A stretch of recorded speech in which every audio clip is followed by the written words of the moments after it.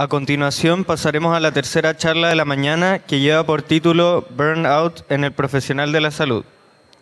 Expone el doctor Cristóbal Gesquia Vergara, médico del Servicio de Psiquiatría, Unidad de Corta Estadía, Hospital Diurno, Consultoría Psiquiátrica de la Región de los Ríos y Psiquiatría de Enlace en Unidades de Pacientes Críticos y Urgencia General. Realizó sus estudios de pregrado y de especialidad en la Universidad de los Andes. Se ha dedicado a lo largo de su carrera al estudio de la historia de la medicina, suicidología y de inteligencia artificial en el análisis de datos de pacientes hospitalizados.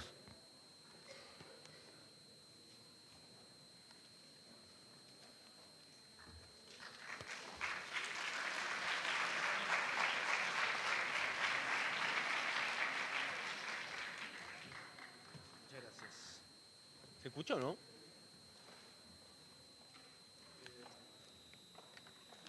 ¿Se escucha? ¿No? A ver, ahí. Sí, no, sí, sí. A ver. Mic. Ahí. Ahí, ¿no? Sí. Mejor con ¿Mejor? Sí.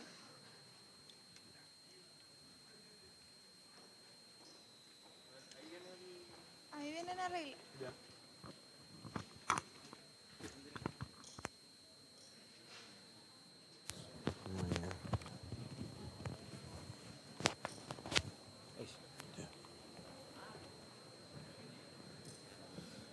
Ya. Muy buenos días, ¿se escucha o no? No. ¿No?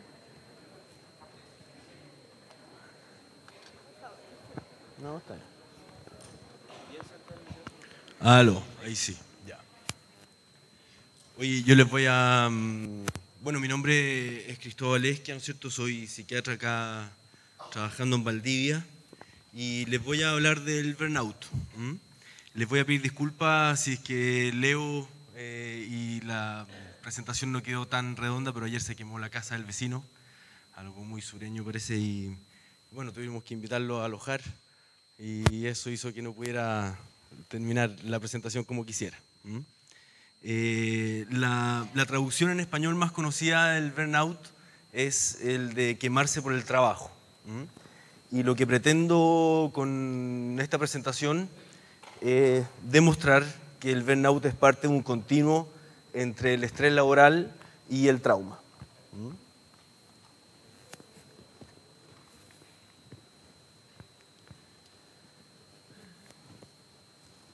Muy bien. Eh, más que hablar como un experto en burnout, en realidad esto también va a ser el autorretrato de un quemado, que soy yo. ¿m? Porque en gran medida yo cumplo con, con el perfil de, de una personalidad de riesgo que puede desarrollar burnout y así fue como me ocurrió personalmente. ¿m? Eh, hace dos años y medio, cuando llegamos a Valdivia junto con mi familia, eh, lo hicimos buscando escapar un poco de- del ritmo de Santiago, ¿no es cierto? Buscando una ciudad universitaria en el sur.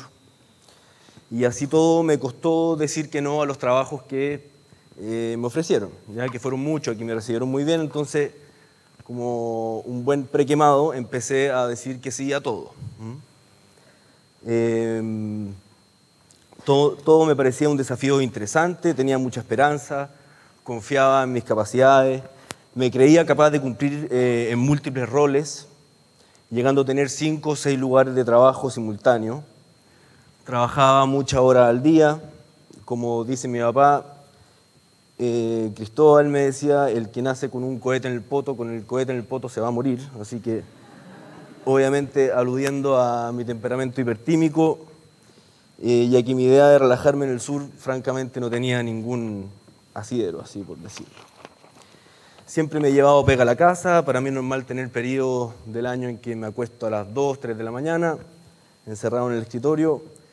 Eh, y eso me pasó también cuando llegué acá al día, obviamente no cambió nada ese ritmo de vida, lo hice por varios meses eh, y no por ello produje más. Eh, mirando atrás, ahora puedo aceptar más tranquilamente que eh, en realidad eso quizás fue todo para peor.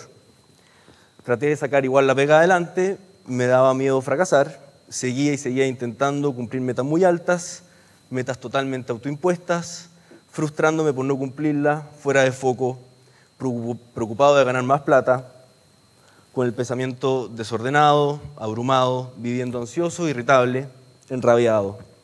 Luego empecé a evitar el trabajo. Eh, no quería estar ahí, o sentía que estaba, pero mm, solo presencialmente. Eso de estar, pero en verdad no estar, ¿no? Acto seguido empecé a tener problemas con otros profesionales y eso fue lo que más dolió. Ya fatigado, emocionalmente muy desgastado, con muchos dolores de espalda, que simplemente los negaba, me negaba.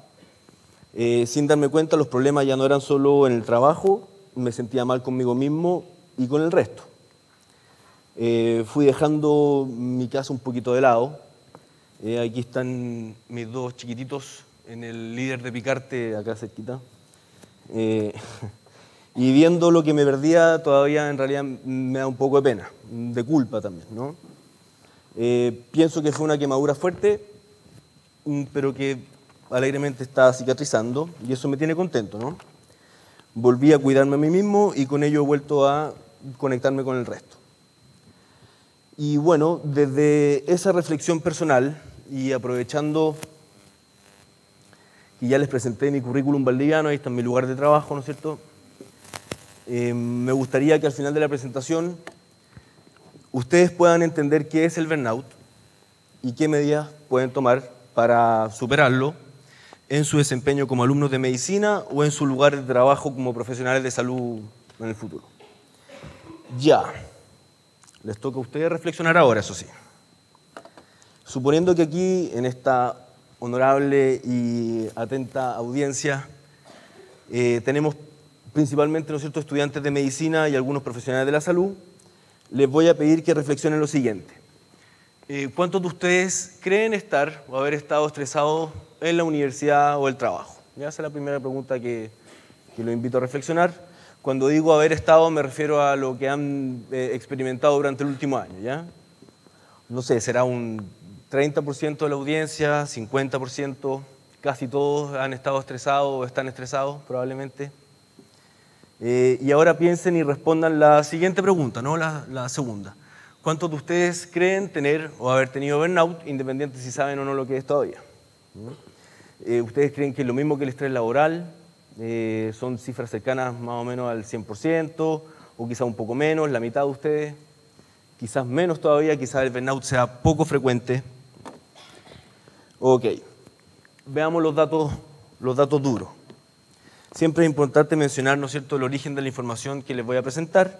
Estos resultados en su mayoría eh, lo obtuve a, partir de una revisión acuciosa de trabajo principalmente hecho en Chile y en Latinoamérica porque Creo que el, factor de estrés depende mucho de la, situación sociocultural, geográfica, y no sé si somos muy comparables a otros países de Asia, Europa, mm, Estados Unidos. ¿no? Entonces, por eso me dediqué principalmente a Chile y Latinoamérica. Y cuya metodología, ¿no es cierto?, incluyera mediciones en base a las escalas más validadas, más que las que yo considerara mejor escala, las que sí estuvieran validadas para la población tanto de estudiantes como de médicos. Em, para medir el estrés laboral y el burnout. Y las principales son esas dos, el Maslach Burnout Inventory General Survey y la escala de factores psicosociales en el trabajo. Entonces incluía todos los trabajos que tenían eh, esa muestra con esas dos escalas. ¿no? Eh, vemos que efectivamente el, el, estrés en estudiantes de medicina y médicos egresados no cambia mucho entre las dos poblaciones, es casi todo. O sea, todos respondemos que estamos estresados. Em, eh, en realidad es como una epidemia de, los tiempos postmodernos, o sea, decir que esto es como enfermedad es raro porque es más la norma que, la enfermedad, en fin. Pero en cambio vemos que el burnout en estudiantes de medicina y médicos egresados es bastante más bajo. ¿no? los estudios fluctúan entre un 15 a 30%. Por lo tanto, si nos basamos en parámetros netamente epidemiológicos eh, o estadísticos en realidad, podemos afirmar que eh, el estrés laboral y el burnout no son lo mismo, pero lo que sí es interesante em, analizar es qué cosas comparten entre ellos. ¿sí?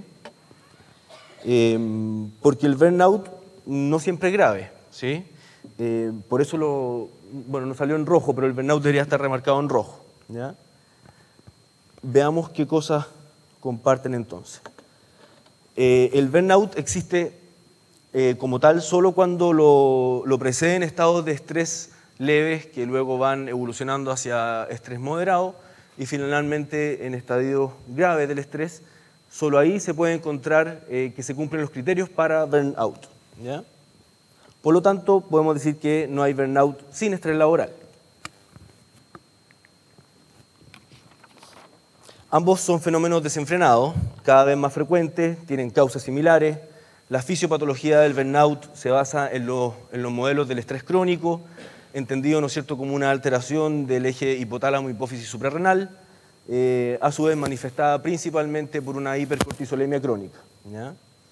Se puede afirmar también que comparten síntomas eh, clínicos, el curso natural de ambos tiende a ser crónico y el pronóstico pobre ya que tienen consecuencias graves dentro de las cuales destaca el trastorno de estrés postraumático. Por último, eh, veremos que ambos tienen similares factores protectores, responde a las mismas medidas de prevención y de tratamiento. Solo a modo aclaratorio el primer punto, eh, eso de la frase que decíamos que no hay burnout sin estrés laboral, se postulan dos modelos para explicar el continuo que existe entre ambos. Uno, el primero, dice que el burnout es, sería como una complicación del estrés laboral grave, así como también lo pueden ser los trastornos afectivos, ¿no es cierto?, el consumo de sustancias, psicoactivas, descompensación de un trastorno de personalidad de base, etc. O la segunda, la letra B, es que el burnout se entiende como un último estadio psicopatológico del estrés laboral, es decir, su forma más grave de presentación clínica. ¿Ya? Entonces ahí vemos también que hay una línea de, de severidad. Muy bien. Eh, ahora, independiente de esto último, más que saber eh, cuál de estas dos modelos, cuál de estas dos teorías es la más cierta, lo central es que existe, independiente de cuál sea, existe un continuo entre ambos. Y ahí eso es lo que quiero remarcar principalmente. Es decir, lo que comienza como un estrés laboral leve puede terminar como un burnout. Eh, bueno, nunca es tarde, aprovechando de, de agradecer la, la, invitación a los organizadores eh, al Congreso, ¿no es cierto? Está muy bueno, en verdad. Me sorprende la cantidad de gente, está buenísimo que vengan de todas partes. Eh, hace más o menos un mes atrás eh, me invitaron a hablar de, de, burnout y sobre todo yo leí y reflexioné sobre estas tres preguntas. ¿ya? Eh, ¿Qué causa el burnout? ¿Qué mantiene el burnout?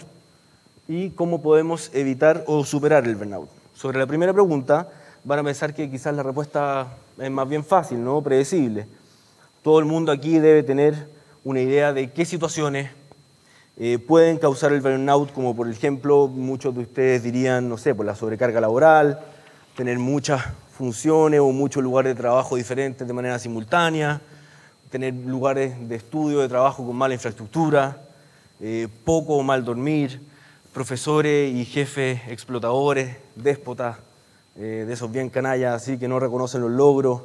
Mi jefa no, por supuesto, pero y un largo etcétera, etcétera.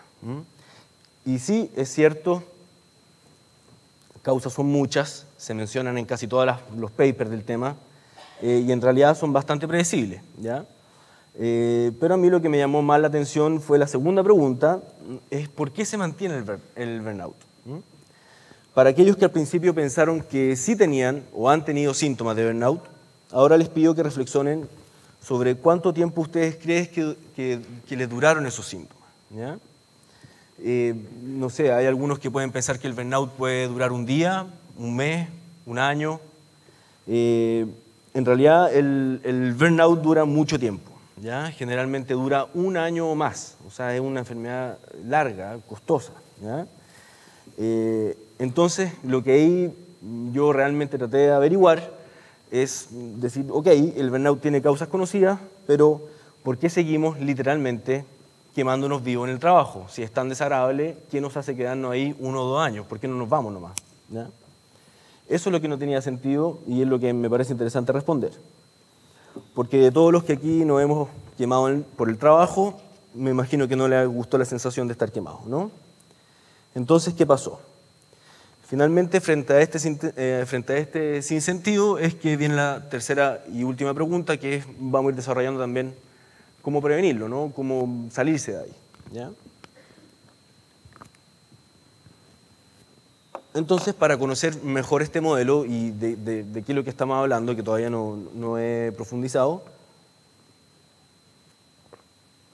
es que les quiero presentar eh, el modelo de burnout propuesto por la doctora Gary Puelo, que ella vive en Estados Unidos, con quien me contacté para abordar este tema, porque prácticamente ella, no sé, ha dedicado toda su vida a juntar cohortes tremendas de personas con diagnóstico de burnout de una manera metodológica, en verdad, bien maravillosa.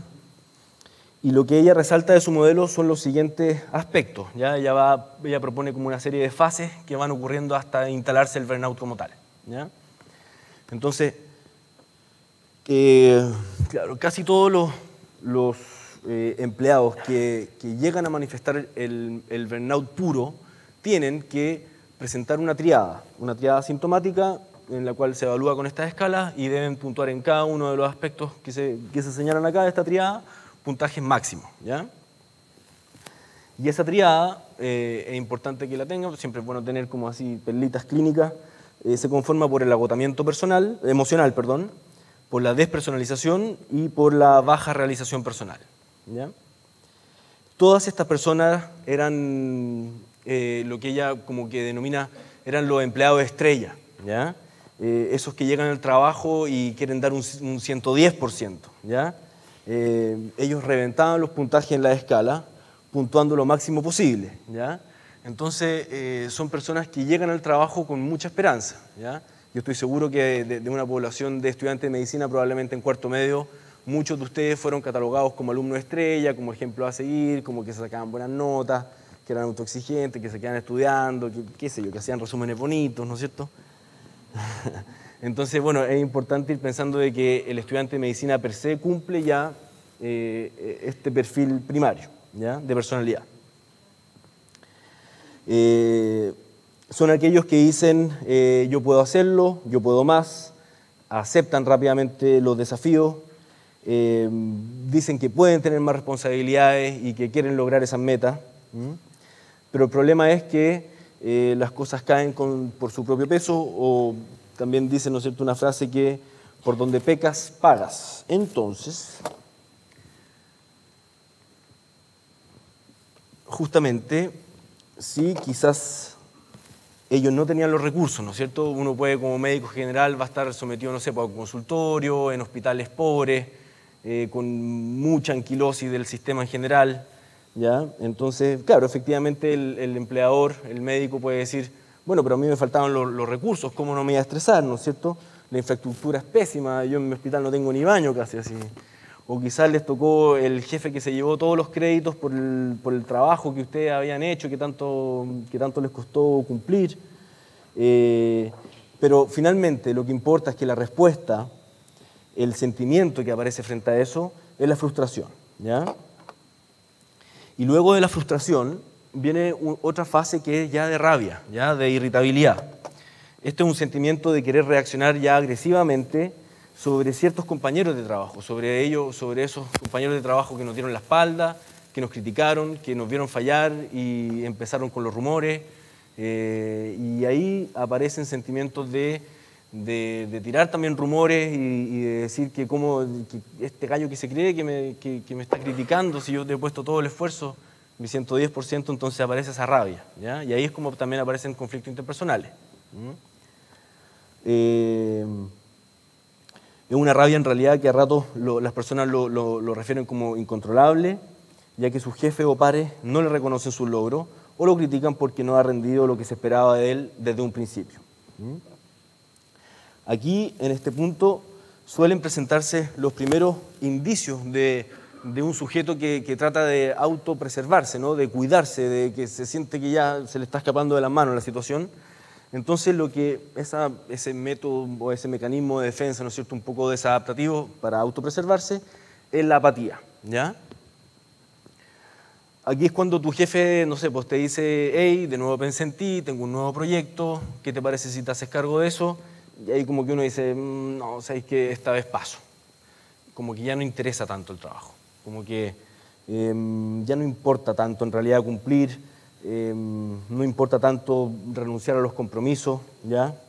Mm, no están dispuestos a esforzarse más. ¿ya? Em, y finalmente, luego de esa fase de apatía, es cuando de seguir en este camino como río abajo, eh, los empleados manifiestan el burnout puro. ¿ya? Y solo aquí es burnout. Antes no lo es. Antes se puede denominar estrés laboral, eh, antes se puede denominar eh, trastorno adaptativo, ese estrés laboral se puede haber complicado con depresión, no sé, pero el burnout es solo eso, ¿ya? el burnout puro. Y este ya es un estado grave de enfermar, es importante dejarlo muy en claro eso. Eh, y es importante porque muchas veces se manosea el término del burnout, se sobrediagnostica, ¿no? Eh, por ejemplo, si ustedes pueden dormir eh, tranquilamente los fines de semana cuando han dejado un poco los periodos de prueba, no tienen burnout, ¿ya? Porque el burnout simplemente sigue y sigue, come y come a la persona, no respeta los días libres. La carga que llevan eh, es extremadamente pesada porque además se asocian otros factores físicos, somatizaciones, se alteran los ritmos biológicos, consultan a médicos generales en reiteradas oportunidades, sus funciones cognitivas disminuyen notablemente y lo mismo ocurre con su rendimiento, el que cada vez obviamente es peor las personas que lo rodean se cansan, la, polola, los familiares cercanos, los amigos, se cansan y entonces el quemado se aísla, porque no sabe qué hacer, no sabe cómo salir del hoyo y queda cada vez más solo. Y ellos sienten realmente que la vida se termina, se terminó, o sea, un estado muy, muy angustioso.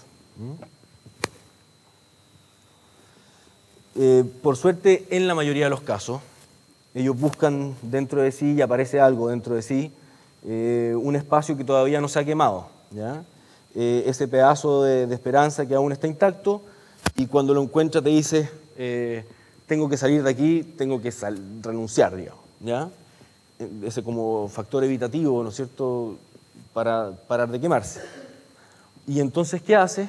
En generalmente aparecen dos tipos de respuesta de nuevo, que es lo que se ha denominado el presentismo, o la retirada. El presentismo en el trabajo es eso de estar pero no estar, llegar a la clase y esperar a que la profesora o el profesor se dé vuelta un poquito y salir por la puerta y pasó lista y ya no me interesa saber si es que yo entendí lo que iban a pasar en la clase, eh, sino que simplemente estoy presente, pero en realidad no quiero estar. Ya no me importa tanto aprender, no me importa tanto cumplir mis metas altas, de ser un buen médico, así con, con una buena base teórica y dejo de estudiar también, ¿no es cierto? Si que importa, puedo pasar con una nota baja, damos nomás, ¿ya? O la retirada. Eh, alumnos de medicina no son pocos los que se van de la carrera, ¿no es cierto? Eh, algunos trabajadores reducen sus cargas laborales, bajan horarios, por ejemplo. Otros simplemente renuncian y en los casos más graves, más radicales, incluso hay profesionales que eh, se van totalmente del rubro al que se dedican, cambian de rubro, digamos. ¿ya? Em, y eh, esta fase sí es importante decir que todavía no es, no es parte de una, de una recuperación, ¿ya? porque la renuncia definitiva eh, puede limar, eh, puede aplacar un poquito la gravedad de los síntomas, porque ya no se está expuesto ¿no es cierto? al ambiente estresante, pero no se considera una respuesta adaptativa como tal. ¿ya?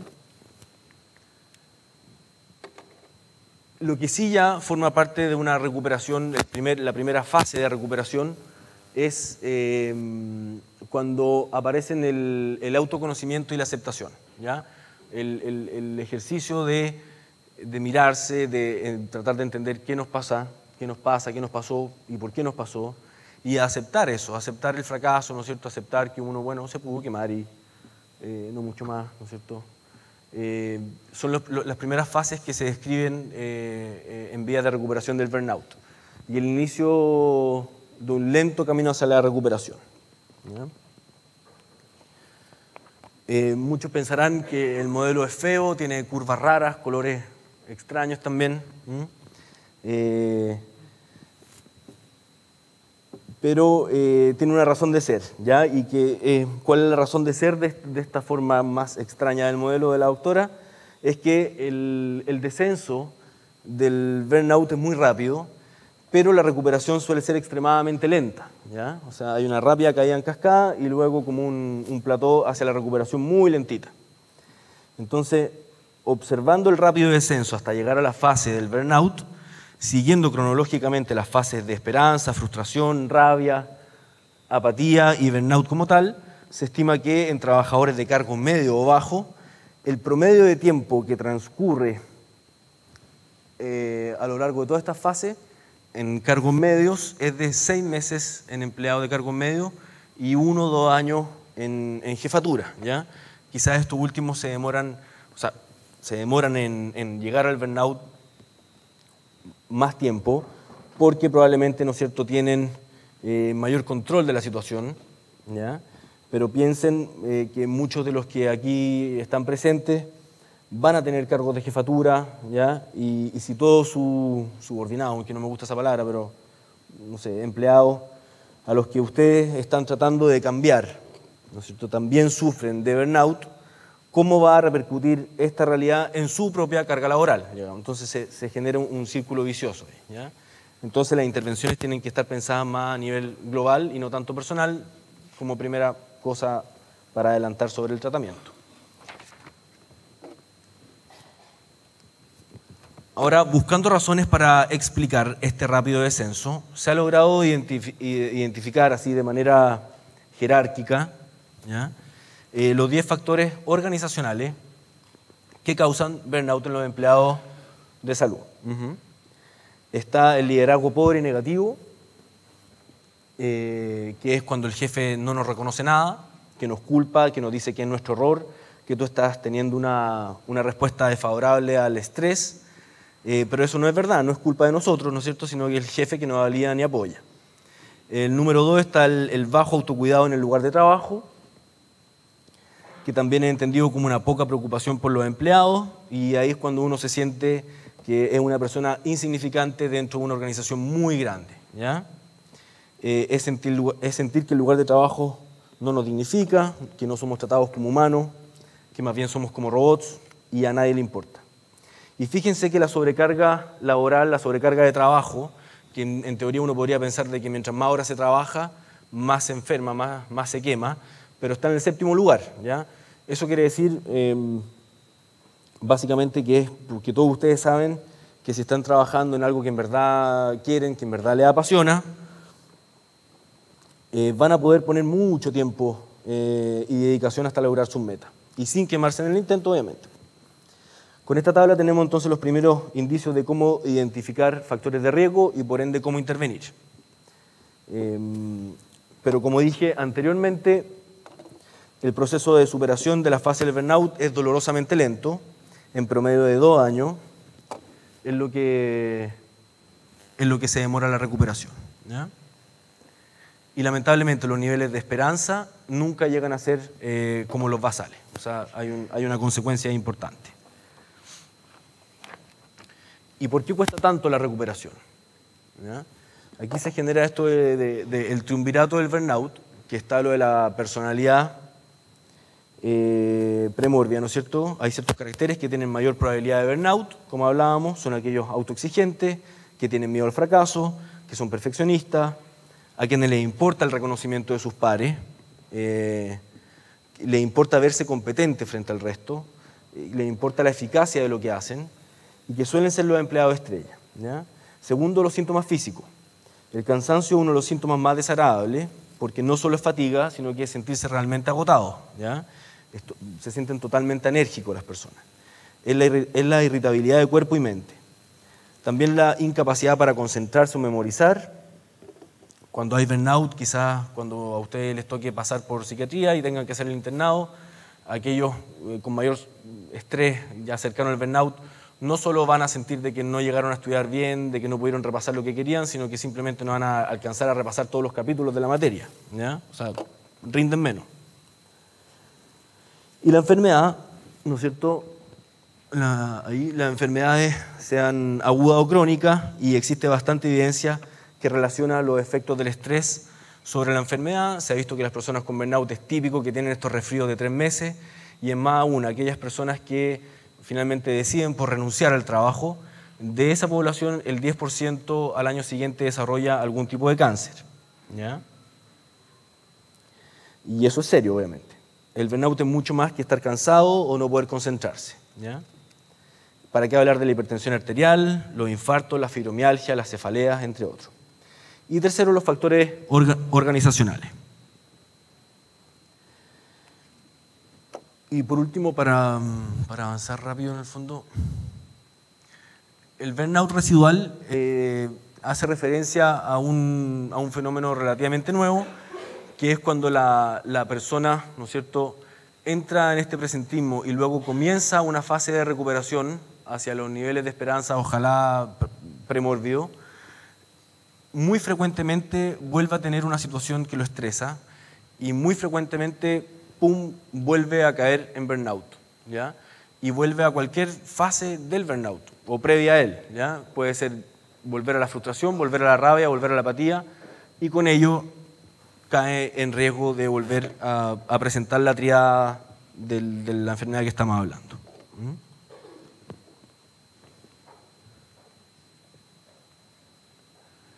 Entonces, la principal complicación del burnout, ahora ampliando el continuo, o sea, no solamente estoy postulando que hay un continuo entre estrés laboral y burnout, sino que eh, desde el estrés laboral, pasando por el burnout, se puede llegar al trastorno de estrés postraumático en la medida que eh, se, dé este fenómeno de la recaída del burnout.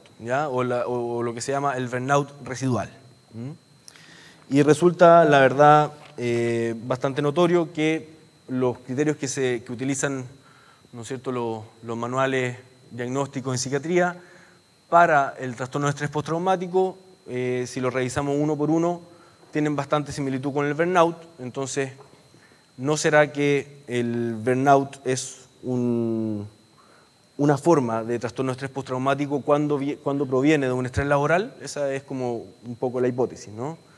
y vamos revisando. Entonces, la, eh, para hacer un TEP tiene que haber una exposición a un evento traumático o un estresor extremo. Check. Eso lo tiene el burnout. Que haya una respuesta ansiosa con desesperanza y o terror, también. Que hayan trastornos del sueño y las pesadillas, también. Que haya desánimo aislamiento, también. Cambio anímico frecuente, ansiedad generalizada, también. Evitar actividades que promueven la reexperimentación del evento traumático, también. Entonces, si son criterios comunes para trastorno de estrés postraumático que también los presenta el burnout, quiere decir que muy probablemente tengan algo en común. Y eso es la, la presentación que quería compartir con ustedes. Muchas gracias.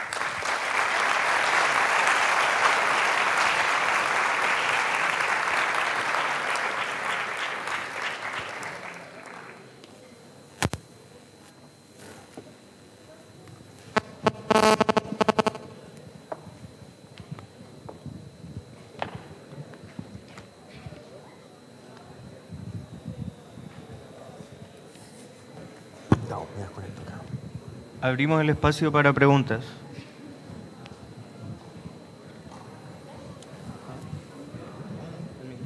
Acá está. Ah, pero con el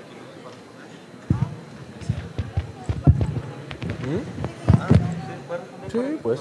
Para que lo usen. Ah, ah.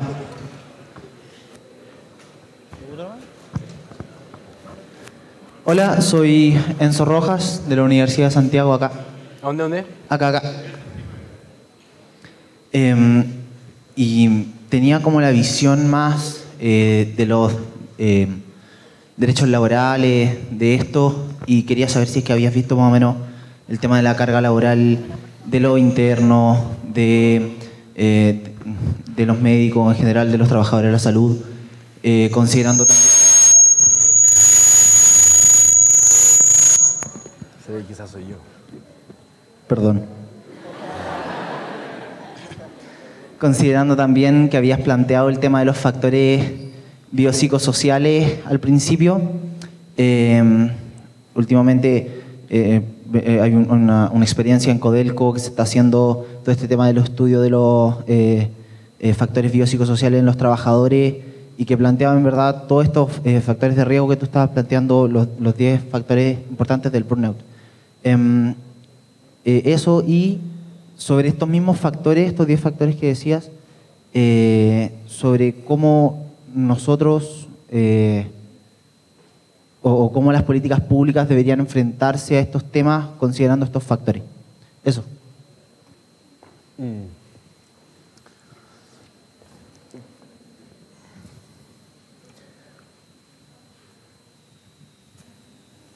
Claro, yo no sé si hablé de la, cantidad de horas que, si, yo les dijera a ustedes el día de mañana cuántas horas van a trabajar y yo les pregunto cuál, cuántos de ustedes van a trabajar 44 horas, que es como la jornada completa, probablemente nadie me va a levantar la mano porque efectivamente los médicos suelen trabajar 60, 70 horas a la semana. Eh, en cuanto al marco legal, como experiencia personal nomás lo puedo decir, es que eh, en general uno no puede estar contratado en el servicio público por más de 44 más 11 horas. ¿ya? Eh, justamente porque en el fondo lo que hace ese marco legal es, re- es resguardar la salud mental de los profesionales. ¿ya? Sin embargo, ahí entran los vicios del sistema en, en- en que los médicos trabajan por sociedades o que hacen lo imposible por enmascarar, ¿no es cierto?, con boletas de honorario. Eh, el, el hecho de que el- si el médico quiere trabajar más, el hospital lo necesita, mm, lo va a hacer igual. Van a encontrar algún, algún resquicio ahí para hacerlo, ¿ya? También lo digo como experiencia personal. Y el, claro, entonces e- e- efectivamente existe un, lo que yo llamo es como un, pacto psicosocial entre lo que somos nosotros los, médicos con ciertas ¿no cierto? entidades que están en la sociedad, principalmente nuestro empleador, que en general es el Estado, eh, los usuarios, ¿ya?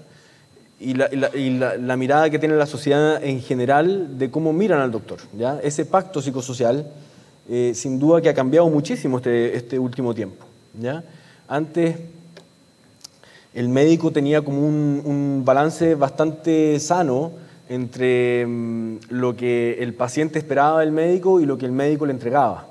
Y había una, una relación muy rica ahí. Eh, incluso había más respeto y más confianza.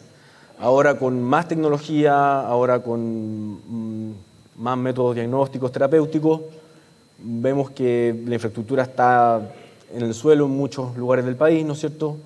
Eh, y que pese a todo eso, la gente ya no nos respeta tanto, sino que nos tiene como una especie de respeto profesional nomás, eh, y siempre sale como diciendo que no le, no le ayudamos. ¿ya?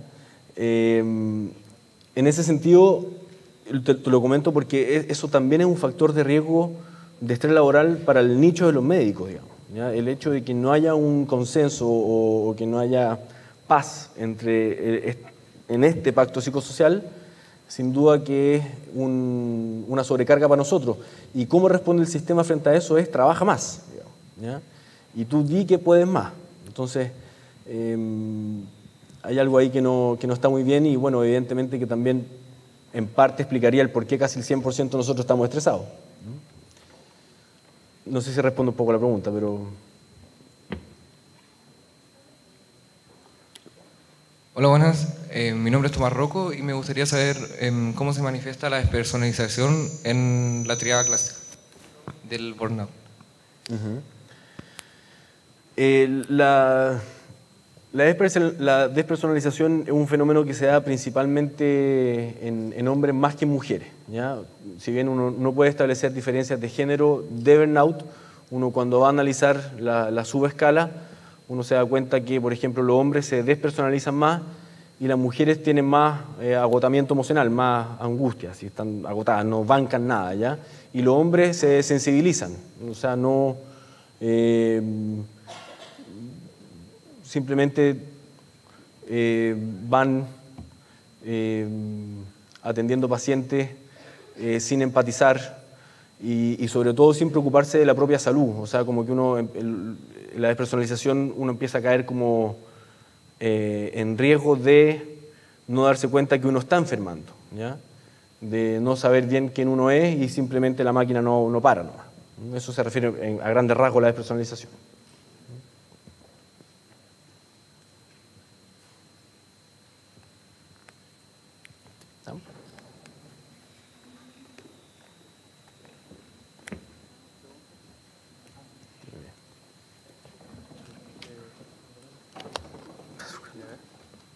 ¿Está? Cierro nomás acá.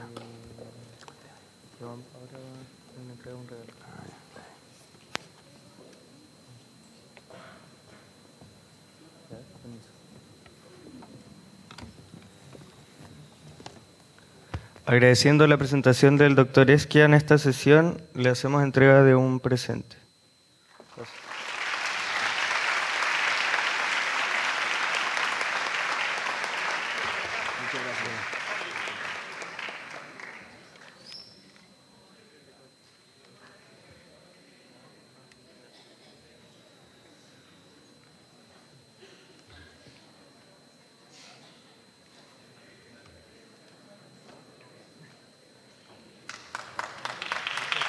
Gracias.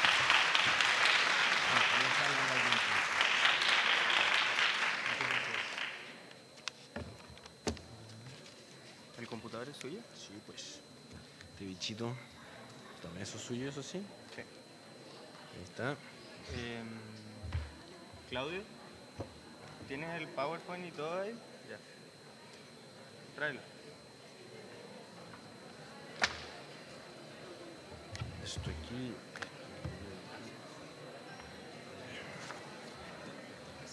Muchas gracias. Gracias, entonces nos pasamos usted. Muchas gracias por la invitación. Un momento al correo.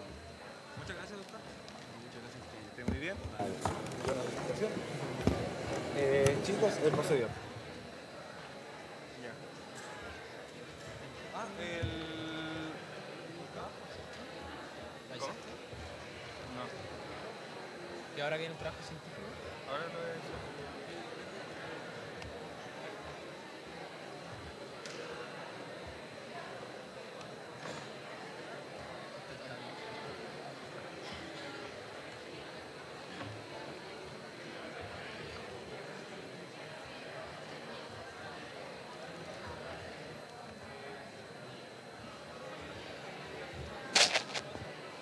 Probando. ¿Cómo se apaga ese celular? A la próxima semana. ¿Mm? Y avisa que la gente de la primera fila se pase a la segunda o a la tercera, por favor. Ya. Para que. ot- ¿Pero es absolutamente necesario? No, que se queden acá mejor. Ya. Es que Eh, porque si no vamos a tener que moverlos a todos.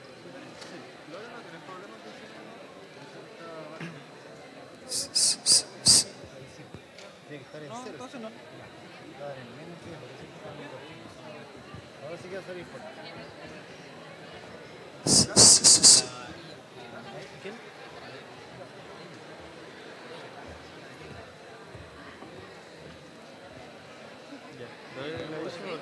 ¿Sí? Ah, no sé. No, aquí no, no. Pero si quieres, tengo la mano. Ahí pon vista que. No, que tengo la- el tiempo. No. Que me demoro súper poco, pero hablo muy rápido, entonces me demoro muy poco. Ahí sí. Sí, en verdad estaba preocupada porque voy a Bueno. demorar muy poco. Oh, ¿no? qué bueno. Qué wea. Ahí sí. Pasarme no debería. Ya, ¿y la weá? ¿El puntero? La weá ahí. ¿Dónde está la weá ahí?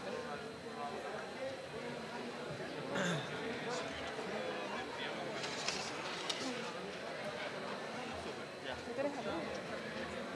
¿De qué cosa? Entonces, los chicos los que están organizando. Entonces, estaré por ahí. Gracias. Un joven.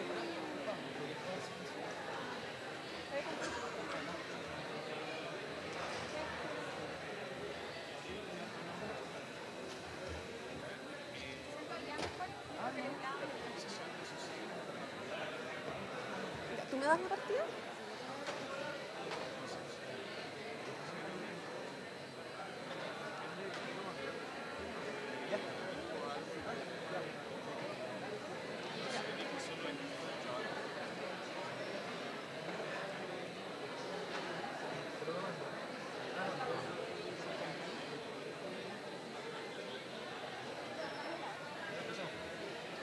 Oye, y al finalizar, avisa lo del catamarán.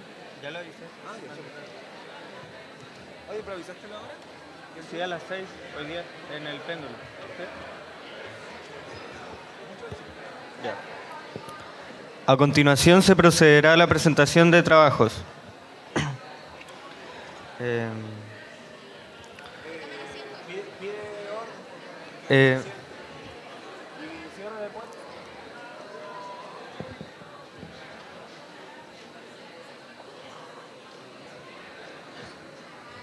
se les pide a todos tomar asiento, por favor.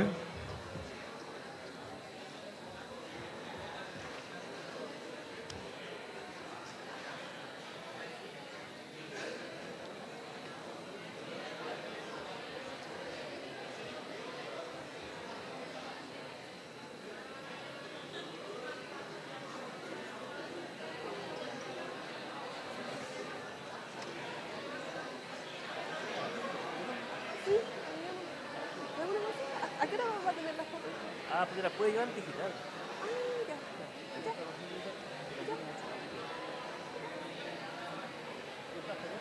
No, pues me quedo hasta hoy día nomás. Me voy ahora a la una. Ya.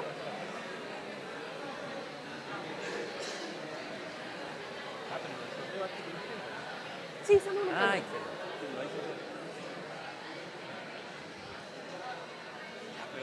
¿Ya? Pero es que no se no han cerrado las puertas. Mm. Ah, ya. Ahora sí. Sí, no, si ya lo hice. Ah. Ya.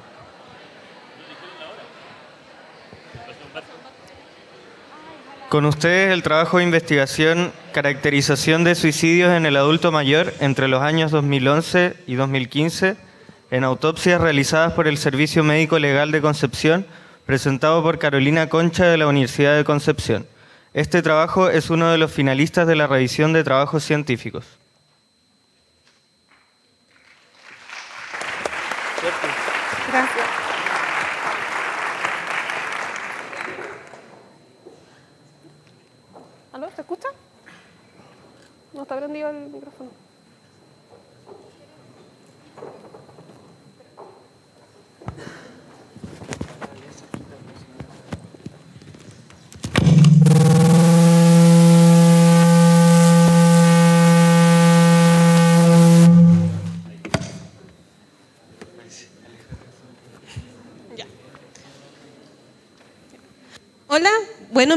Carolina Concha, soy interna de medicina de sexto año de la Universidad de Concepción. Junto con mis compañeros y los doctores médicos legistas hicimos un trabajo denominado Caracterización de suicidios en el adulto mayor entre los años 2015 al, del 2011 al 2015 en autopsias realizadas por el Servicio Médico Legal de Concepción. A modo de introducción, señalar que la Organización Mundial de la Salud define adulto mayor como toda persona mayor a 60 años y es una población que va en incipiente aumento, como pueden ver aquí en los gráficos del INE, del Instituto Nacional de Estadística, y que se, pre- se pretende que al, 2000 al 2025 va a aumentar mayormente la población eh, adulto mayor. Concomitante con esto, está aumentando el, el número de suicidios en el adulto mayor, motivo por el cual quisimos hacer este trabajo. El objetivo del trabajo es caracterizar el suicidio en el adulto mayor entre los años 2011 al 2015, según las autopsias realizadas por el Servicio Médico Legal de Concepción. El estudio es un estudio de tipo descriptivo, eh, retrospectivo transversal, y se analizó los informes de autopsia en pacientes mayores de 60 años entre los años 2011 y 2015 del Servicio Médico Legal de Concepción con eh, antecedente de muerte por suicidio. El estudio se tabuló en eh, Microsoft Excel y fue avalado por comité de ética y aprobado. Las variables estudiadas, como pueden ver en la tabla, fue el sexo, la edad, el lugar de ocurrencia, el estado civil, la ocupación, la causa de muerte, la toxicología eh, y la alcoholemia post-mortem y las enfermedades concomitantes que tuviera este, este rango etario. Dentro de los resultados, primero señalar que la población total fue de 110 autopsias, que correspondieron al 21% de las autopsias totales del- entre los años 2011 al 2015, que fueron 511 autopsias en total. Según el sexo estudiado, 85% de, los, eh, de las autopsias fueron en pacientes masculinos y solo un 15% fueron femeninos.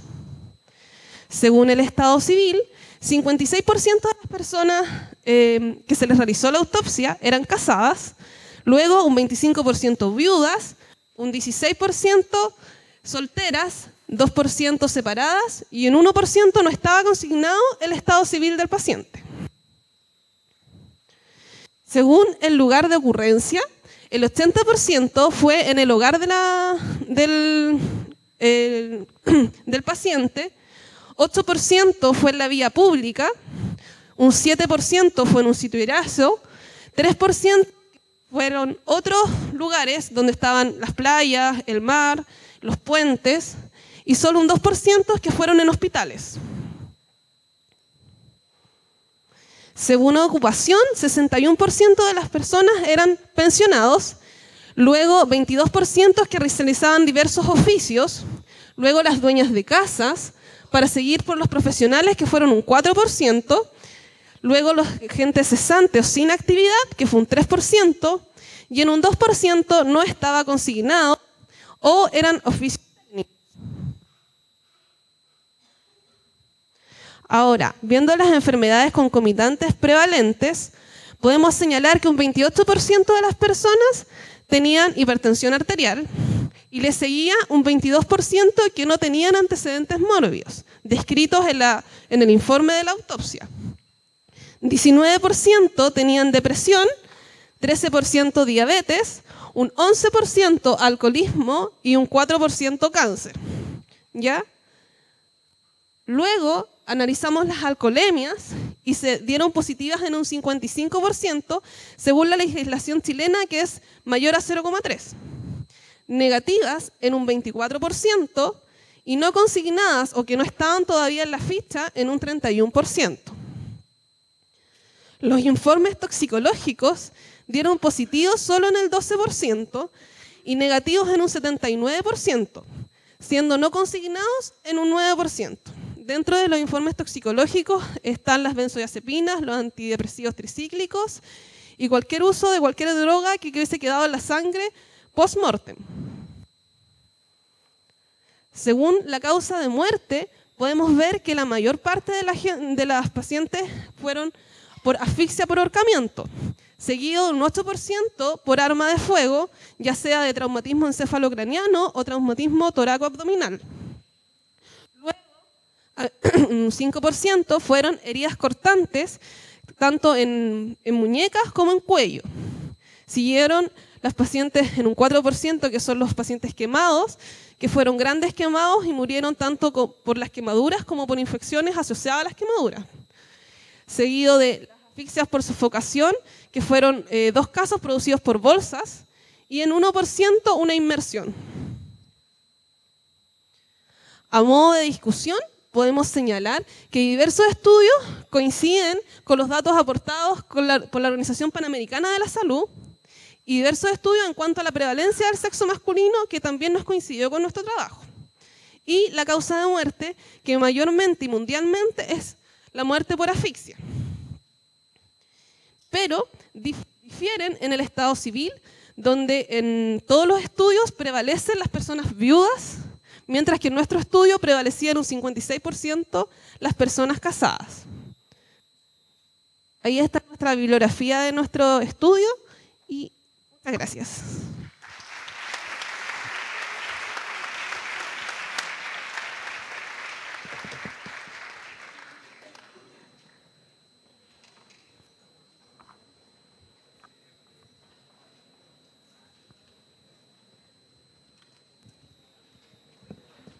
Se abre el espacio para preguntas.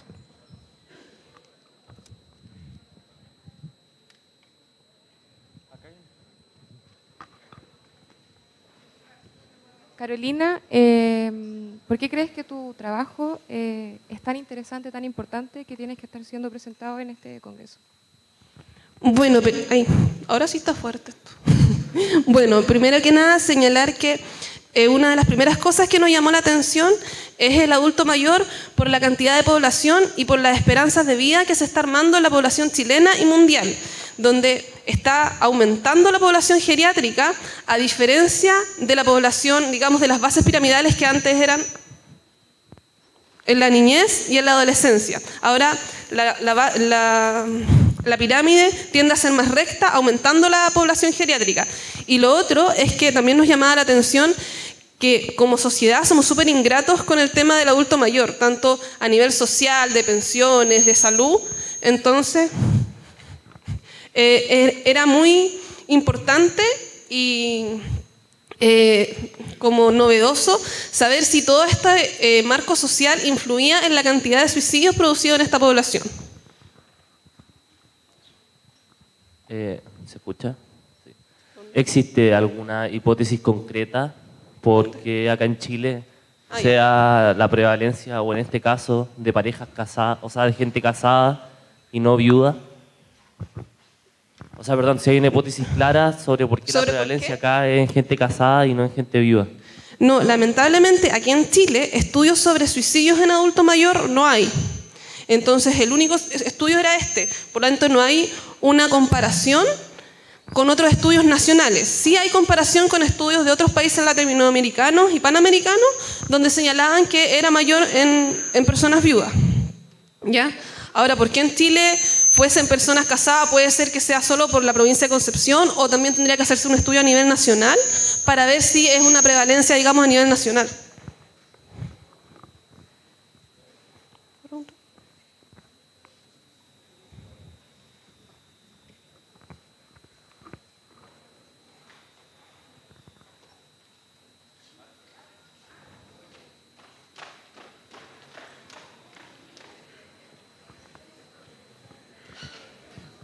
Una consulta técnica desde el punto de vista de tu trabajo. eh, ¿Puedes hacer inferencias socioculturales en base a los antecedentes recopilados en tu trabajo? ¿Sí o no? Bueno, nosotros eh, viendo, digamos, la población estudiada, yo les comenté al principio que en total son 511 suicidios en toda la población, solo 110 son a nivel eh, de adulto mayor, y lo que llama profundamente la atención son las formas de suicidio. La forma de suicidio en adulto mayor es mucho más abierto el campo que en, en- otras poblaciones, lo que llama la atención porque varía las formas, o sea, en el adulto mayor eh, se, se lanzan al mar, se queman, tienen otras formas que son mucho más eficaces, lo que da a entender que fuese eh, no solo un, inten- un intento suicidio, sino que tienen un intento suicidio claro de querer matarse. Y eso es, como la inferencia, digamos, sociocultural que teníamos nosotros. Y respecto a que mm, en los otros estudios de otros países es menor la cantidad. De nosotros salió un 21% de suicidios en el adulto mayor, en los otros países es mucho menor la cantidad de suicidios en adulto mayor. Entonces, algo tiene que ver el contexto social en que estamos involucrados para poder eh, que se produzca este aumento de suicidios en el adulto mayor.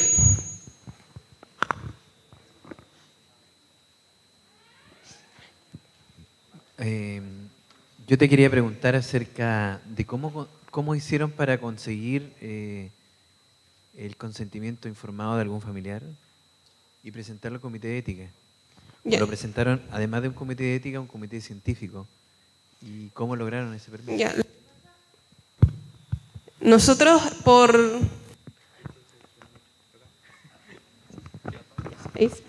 Ya, nosotros en nuestro internado rotamos por el servicio médico legal y se nos sugirió en verdad hacer este trabajo y nosotros pedimos permiso al servicio médico legal de Santiago. Ellos nos dieron el permiso y no usamos, o eh, presentamos el comité de ética, pero nosotros en ningún momento trabajamos con los nombres de los pacientes o con antecedentes personales. Entonces el comité de ética en ese sentido lo aceptó y no tuvo problemas porque no trabajábamos, digamos, con ningún nombre ni dato personal de la persona, sino que eran solamente datos estadísticos.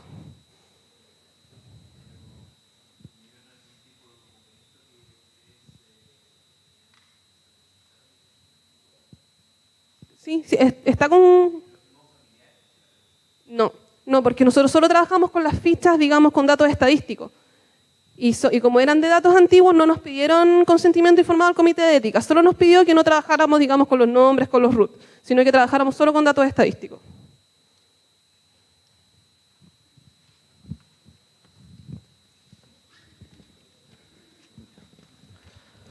Agradecemos a Carolina por su presentación y le hacemos entrega de un presente.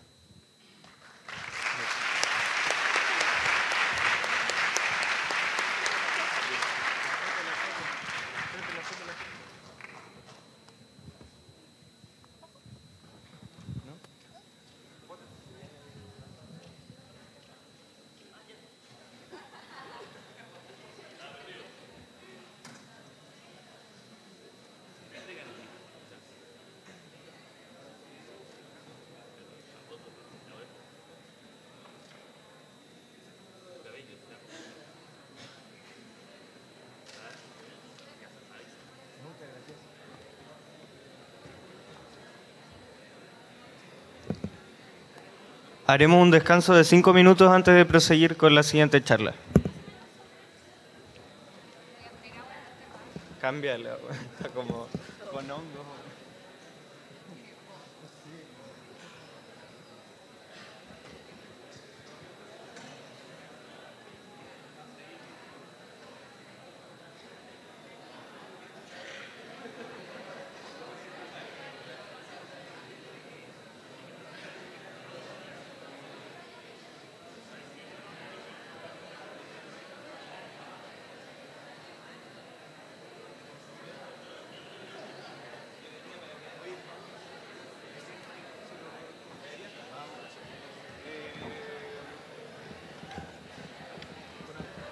Tema de los tiempos nomás. eh, Sí, sí, yo sé que tengo que ser bien estricto conmigo mismo.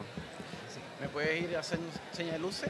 Sí, son, eso, pero Ya. preferimos con las manos. Ya, perfecto. Nos vaya... son 30 minutos de exposición, exposición? y 10 minutos de preguntas. Ya. Igual hay algunos que prefieren hacer 35 de exposición y 5 minutos de preguntas. Ya. No, Pero- por eso para que me vayan avisando, voy a ir a un ritmo rápido entonces. Y tenemos... El pasaviapos. ¿Este es? Esa es. Tata. Sí, sí. Bueno, la-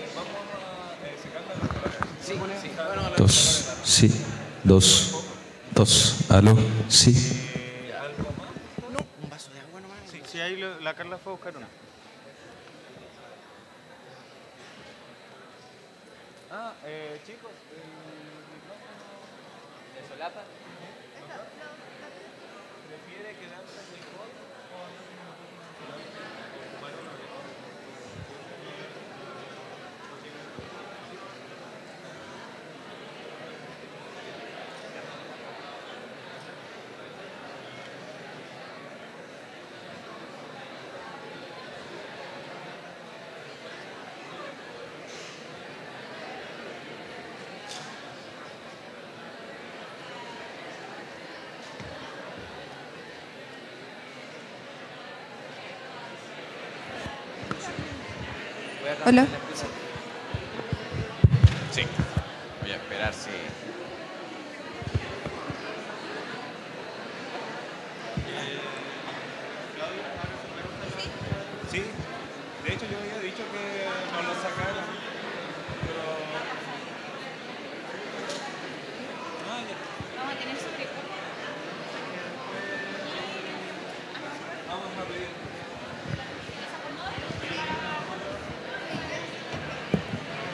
Eh, pedimos a los asistentes del aula magna que por favor traten de ocupar los puestos de las primeras filas. Para, una correcta, eh, para una correcta distribución de la gente porque tenemos un alto flujo de personas. ¿ya? Eh, por favor piensen en sus compañeros. Muchas gracias.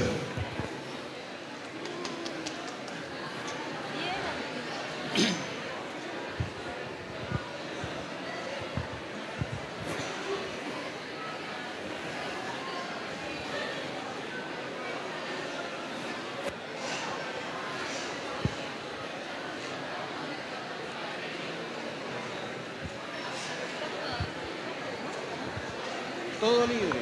Las autoridades se fueron todas.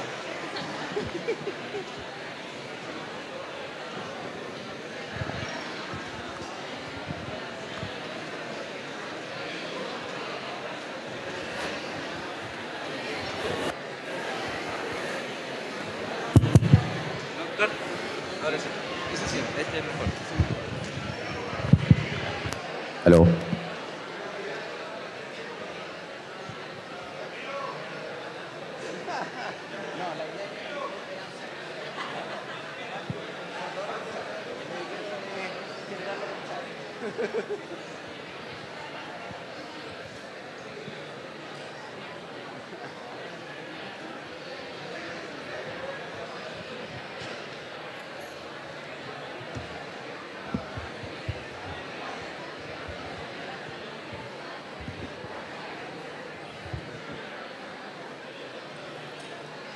A continuación pasaremos a la cuarta y última charla de la mañana que lleva por título Conducta suicida, pesquisa, vigilancia e intervención precoz. Que bajen las luces.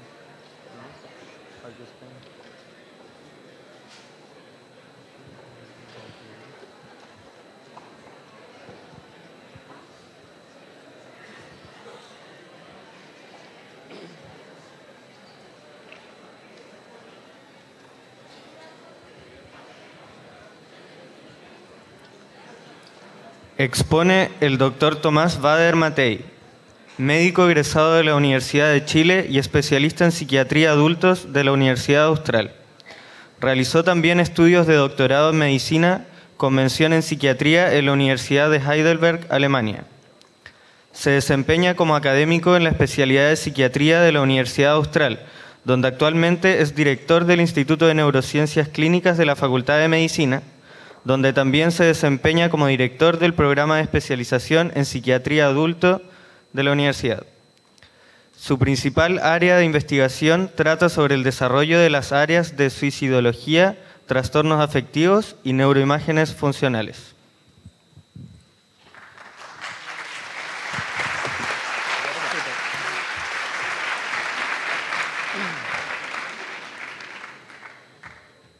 Adelante.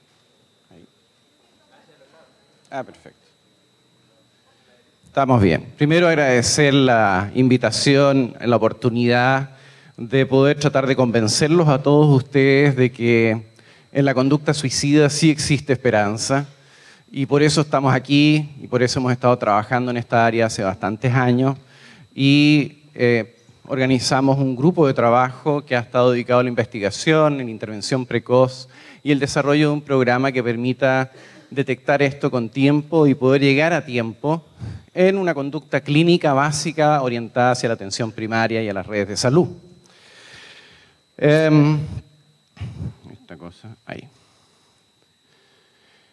Me va a ganar la tecnología hoy día. Algunos conceptos generales que ustedes tienen que conocer. El concepto de suicidio se divide en dos partes del latín, que implica sui, uno mismo, y cadere, matarse. Es un concepto bastante antiguo, incorporado a través de la historia del ser humano y es un fenómeno universal, es una conducta universal y se presenta transculturalmente en todo el mundo. En todas las épocas de la historia existen reflejos históricos de este antecedente de la conducta suicida. Ahora las actitudes variables en las distintas sociedades, hay muchos principios filosóficos que rigen esta conducta y podríamos discutir largamente sobre ese tema, pero no voy a entrar en eso hoy porque nos alargaríamos excesivamente.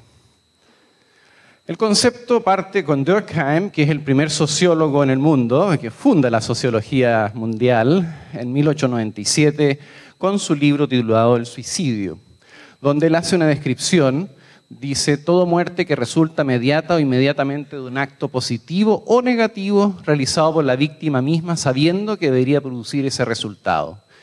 Por lo tanto, definitivamente, a veces, y esto lo uso mucho como ejemplo, una persona que piensa que con una tableta de paracetamol se puede morir y eso lo hace con esa intencionalidad, eso es un acto suicida, eso no es una manipulación, porque depende de la intencionalidad y la motivación el acto para definirlo. Todo acto por el que el individuo se causa a sí mismo una lesión o un daño con un grado variable de intención de morir, esta es la de la Organización Mundial de la Salud, cualquiera sea el grado de intención letal o de conocimiento del verdadero móvil. Es un poquito más amplia, pero está diciendo lo mismo. Schneidman es un autor americano, psicólogo, fundador, podríamos decir, de lo que es la suicidología hoy día, que es un área de la ciencia en psiquiatría que se dedica a la investigación específica de factores de riesgo y de factores predictores de conducta en suicidio.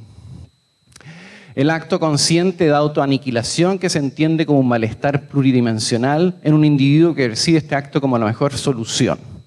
Y aquí estamos entrando un poco en la temática de la conducta suicida, porque esto tiene que ver con manejo del sufrimiento y del dolor. Muchas veces el paciente o la persona no está buscando la muerte en sí, sino que tolerar el dolor, hacerlo lo intolerable, digamos, y no sopor- lo soportado del dolor es lo que quiere pasar.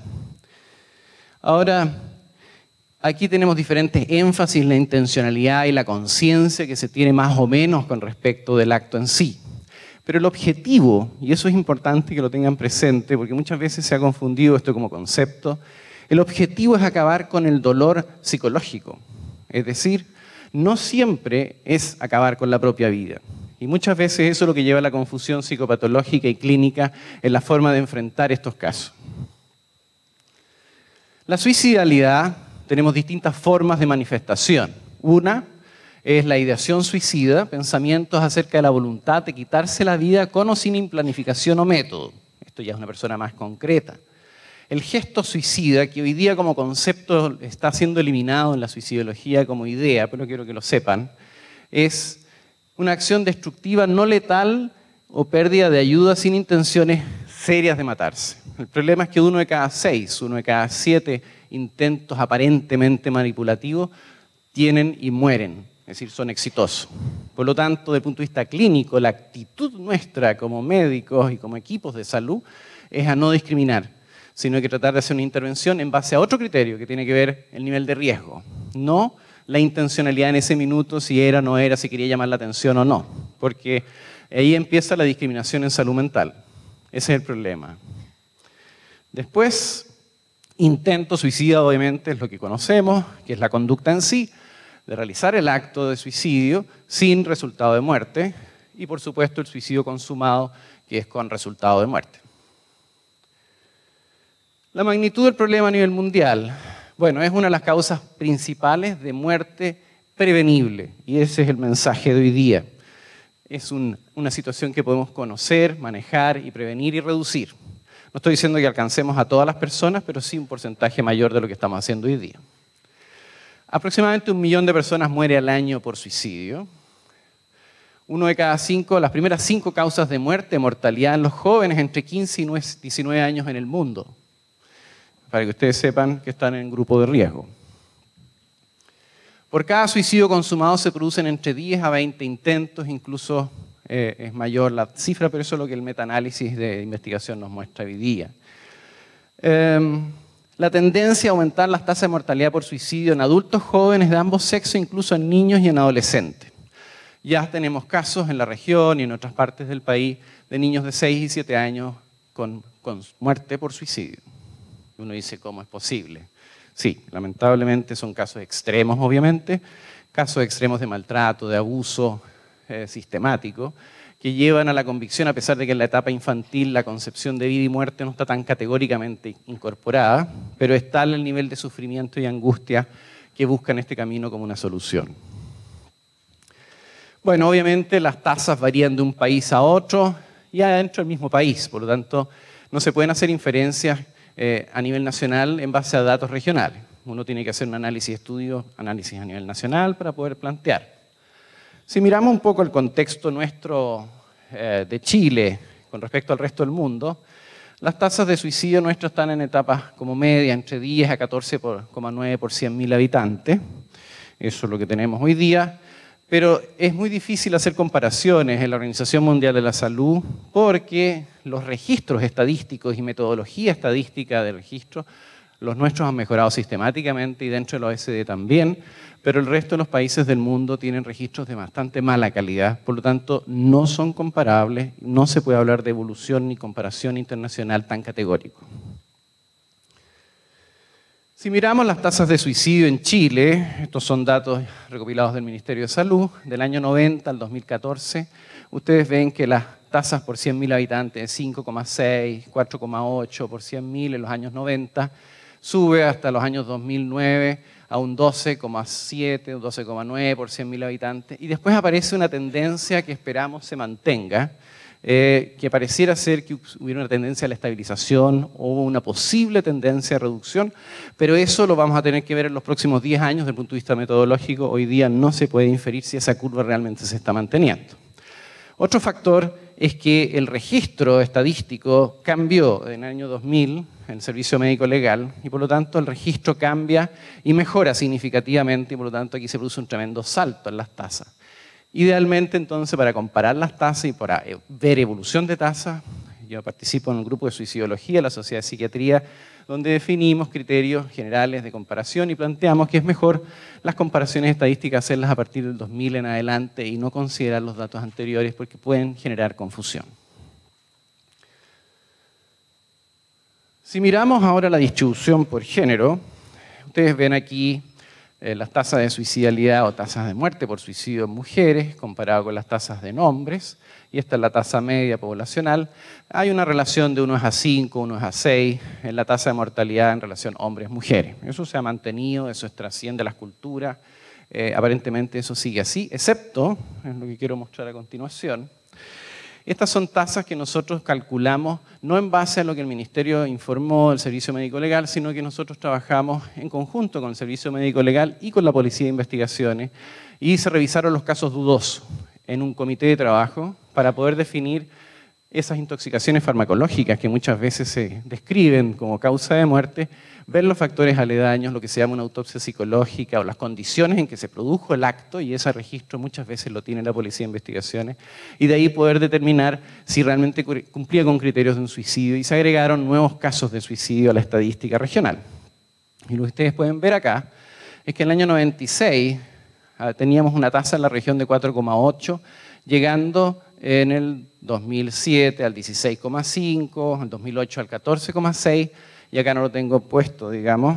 En el año 2009 llegamos a la maravillosa y triste historia de tener una tasa de 20 por 100.000 habitantes, que es una de las tasas más altas de Chile en, a nivel nacional, digamos, para poder tenerlo. Y aquí ustedes lo ven, el salto que se pegó en el 2009 sobre un 20 por 100.000 habitantes, y después aparece esta tendencia que aparece a nivel nacional de una baja progresiva que esperamos siga en ese curso.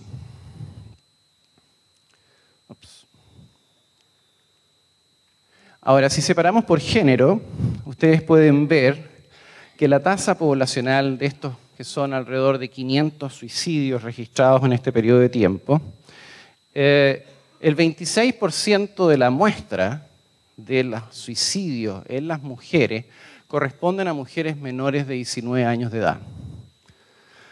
Y en los hombres, más en la edad media, entre los 40 y 50 años de edad.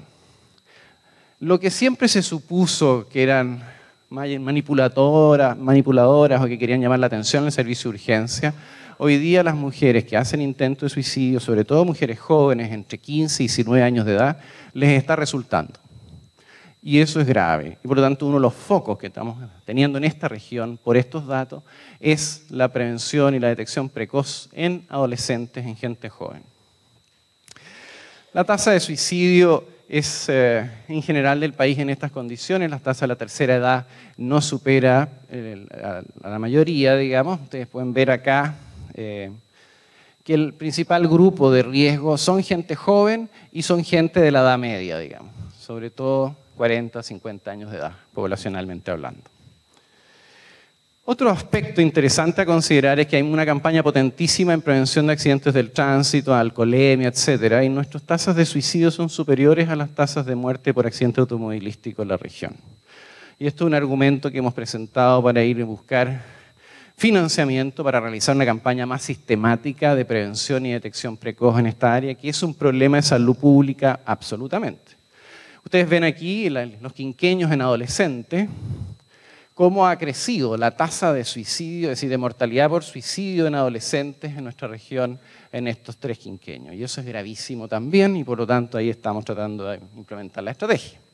Ahora, ¿es posible prevenir en el área de suicidología o de prevenir suicidios o conductas suicidas? Bueno, mi tesis es tratar de demostrarle hoy día que sí.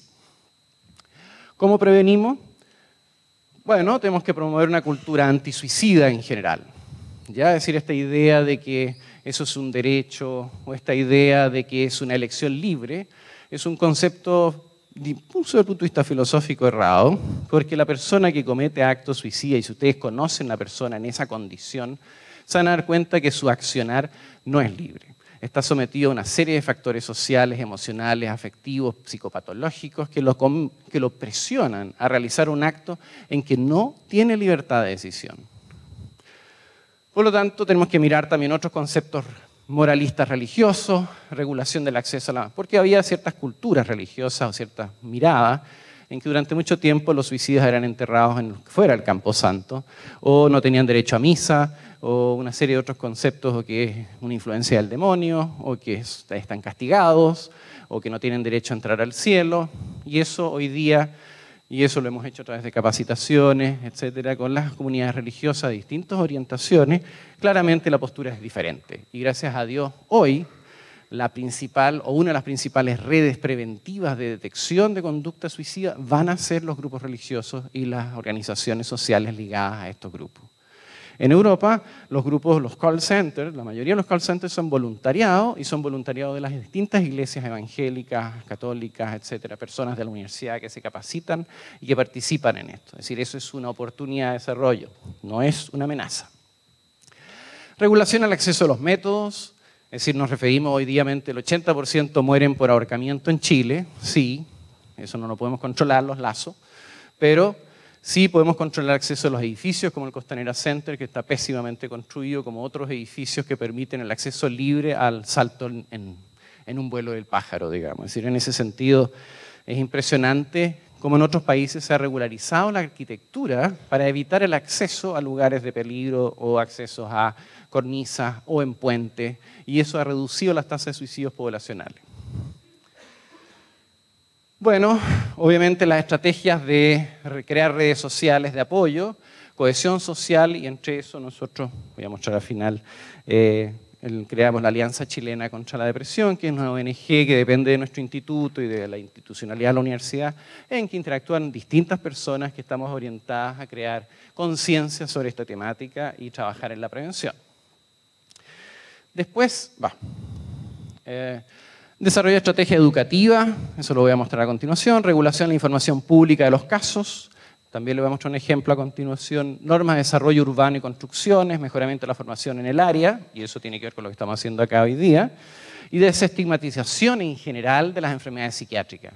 Aquí tenemos un problema grave, que es la discriminación de nuestros pacientes de la salud mental.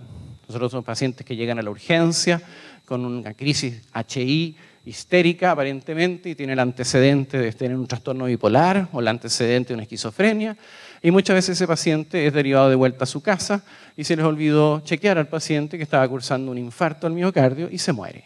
Eso es la causa de mortalidad de los pacientes de la salud mental. La inoperancia de muchos sistemas de urgencia que discriminan al paciente de la salud mental por los antecedentes que trae. Eso es grave. Tenemos reconocimiento de los grupos de riesgo, pacientes con enfermedades psiquiátricas, cambio en las etapas vitales, etapas que son de riesgo para conducta suicida, crear centros de llamados telefónicos, perfeccionamiento, incorporar esta temática de la suicidología y la prevención e intervención precoz en todos los currículum de las carreras de la salud como una meta de aquí a unos tres años por lo menos, para que sea currículum obligatorio.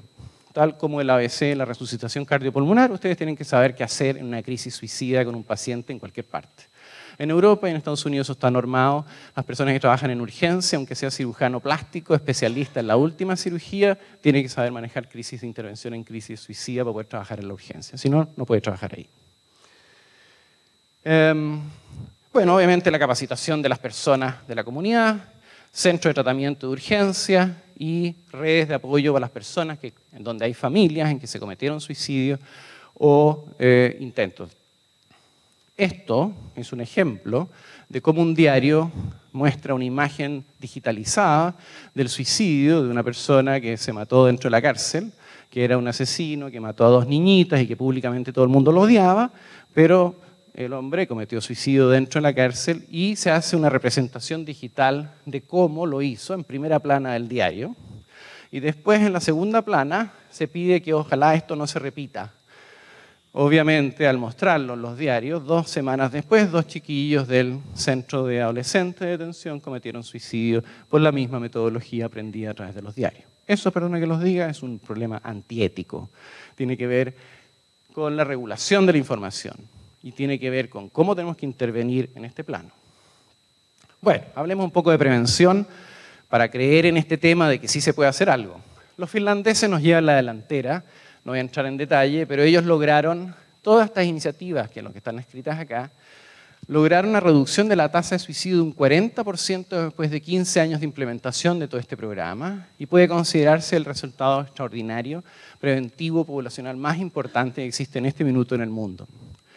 De este programa, nosotros hemos tomado parte de esa información para implementar una estrategia que ya está incorporada en el Programa Nacional de Prevención en Conducta Suicida, pero también en las estrategias de nuestras iniciativas locales. Existen otros, que es el programa de la Organización Mundial de la Salud, que son como cápsulas de capacitación en distintos temas. Ustedes se pueden meter a la página web de la Organización Mundial de la Salud y existen eh, capítulos enteros de guías sobre cada una de las áreas donde ustedes pueden eh, conocer qué hacer. Y nosotros participamos en un grupo de trabajo con la Comunidad Económica Europea en este momento, que es la EAD, en, la cual participan 18 países de Europa y nosotros nos incorporamos hace, desde el 2012 con el primer grupo fuera de Europa en, la estrategia. Y hace, este año se incorporó Canadá, Brasil y México a una estrategia que se basa en la idea finlandesa con algunas mejorías en algunos aspectos que tienen que ver con lo que voy a hablar a continuación. Ellos lo que hicieron fue implementar una estrategia en una ciudad de 500.000 habitantes y la compararon con otra ciudad y vieron que después de dos años de intervención bajaron en un 25% la tasa de conducta suicida población general. Y eso después, un seguimiento a 10 años, se ha mantenido así hasta el día de hoy. Y las tasas de suicidio en muchos de esos países y regiones están en estabilización y hacia la baja, en parte por las estrategias que les estamos describiendo. Este es el paper donde ellos describen los resultados después de 10, 12 años, que fue publicado no hace mucho, donde se valida, digamos, esta estrategia a nivel internacional. Este es el grupo de trabajo, estos son los países que participan actualmente, va variando y nosotros estamos incorporados en esta organización que parte aquí, pero que la idea nuestra es hacerla crecer a todo el país para que se entienda que se puede hacer algo.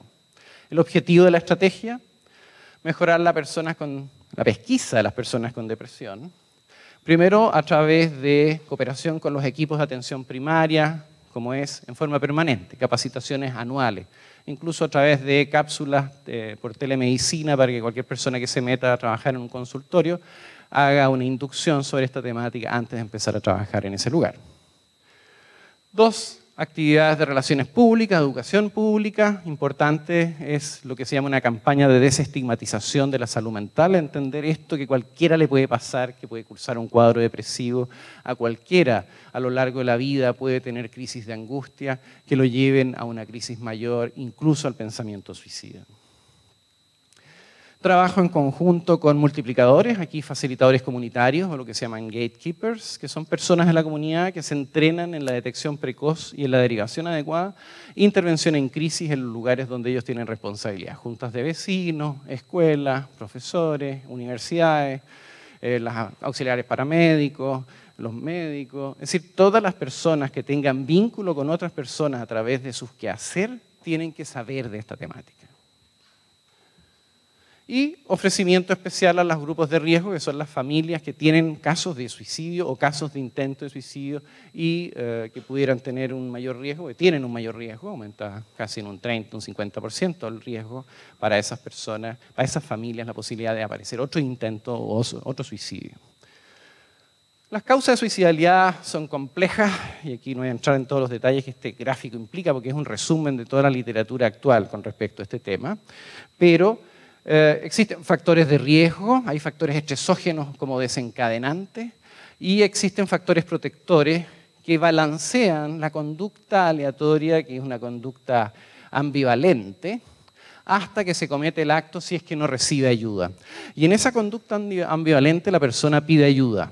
Muchas veces lo comenta en forma indirecta, subjetivamente. Y si uno no está atento, se le pasa el mensaje. No es que el suicida no avise, el suicida muchas veces comenta su intencionalidad de no vivir, pero no lo hace diciendo, oh, me quiero morir, sino que te comenta que las cosas no tienen sentido, que ya tengo todo planificado, que ya pasó, que mi crisis ya me voy a mejorar, cosas extrañas, así que aparentemente uno no entiende que quedan poco fuera de contexto.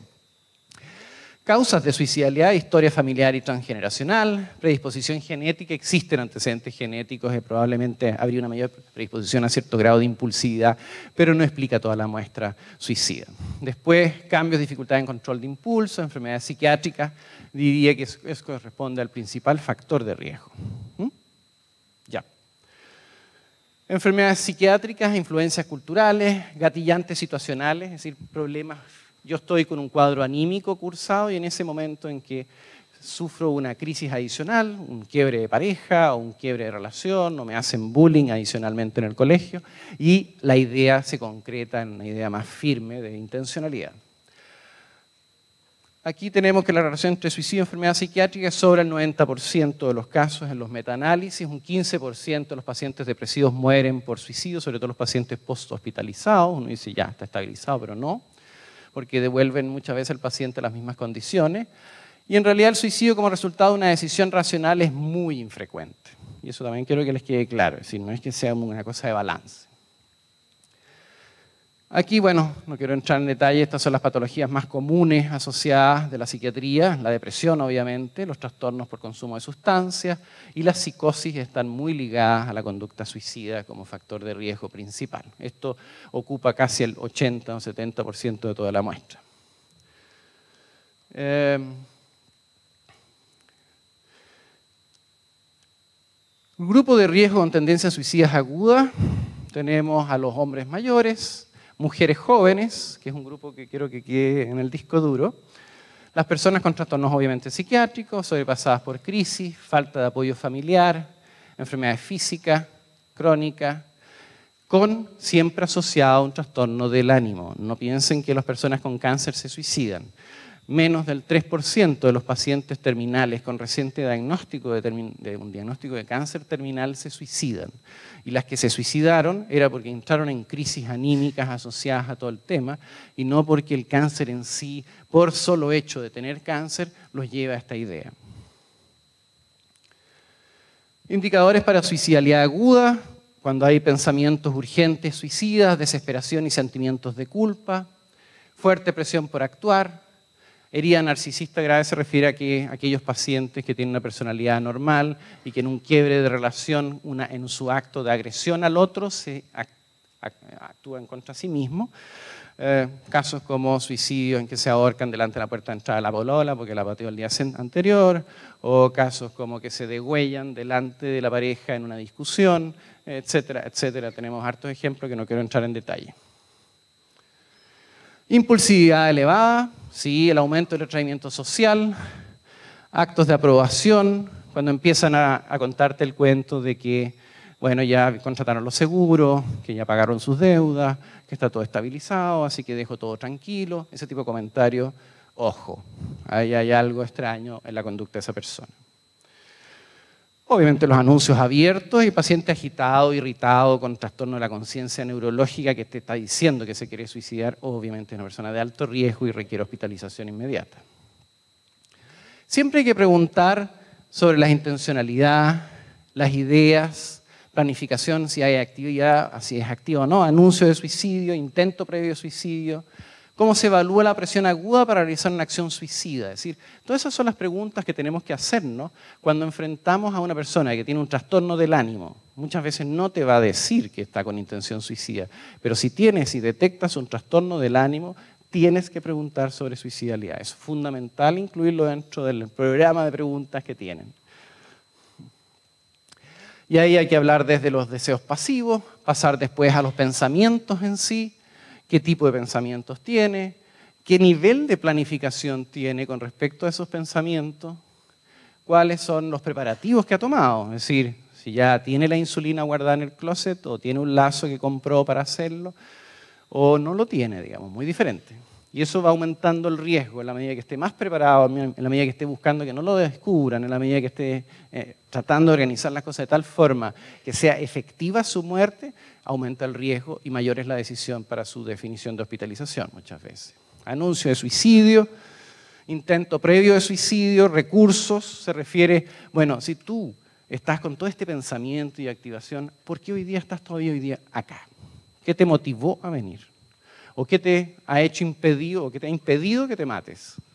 Suena horrible la pregunta, pero eh, te vas a dar cuenta que te va a decir, no, es que me da pena mi hijo o tengo problemas, no quiero hacerlo ahora. Incluso he tenido pacientes que me dicen, no, una vez que mi hija y mi hijo salgan de la universidad, eh, ahí concretaré los hechos. Y uno dice, ya, es una estupidez. No, las fechas de cumpleaños, las conmemoraciones son potentes motivadores de suicidio para una persona. Incluso le puede mejorar el ánimo en términos de que tomó la decisión, por lo tanto ya no tiene dificultades emocionales asociadas a sus conflictos, ya tiene un camino a seguir, por lo tanto su ánimo mejora. Por lo tanto, lo que pasa muchas veces es que se sienten mejor, interactúan socialmente mejor y te llevan a un mayor nivel de confusión. Y eso es lo grave. Lo más importante como concepto general, no se ve bien aquí, cuando me enfrento a un paciente que me está anunciando o me dice que quiere cometer suicidio, está desesperado o te comenta eso de alguna forma, yo tengo que dar tiempo a esa conversación. Mi policlínico se rompió, por lo tanto tengo que dejar espacio de escuchar a esa persona para que desahogue o descargue sus emociones. Segundo, tengo que escuchar en forma empática, no tengo que estarlo cuestionando, no tengo que estarle dando opinión sobre lo que hace, sino que solamente dejar fluir su pensamiento para que vaya a descargo los niveles, de tensión interna. Y finalmente tengo que ver qué red tiene, en qué condiciones estoy yo para poder ofrecerle una atención adecuada, si lo puedo derivar a un centro de atención más especializada o si tengo las condiciones para hacer un seguimiento de ese caso.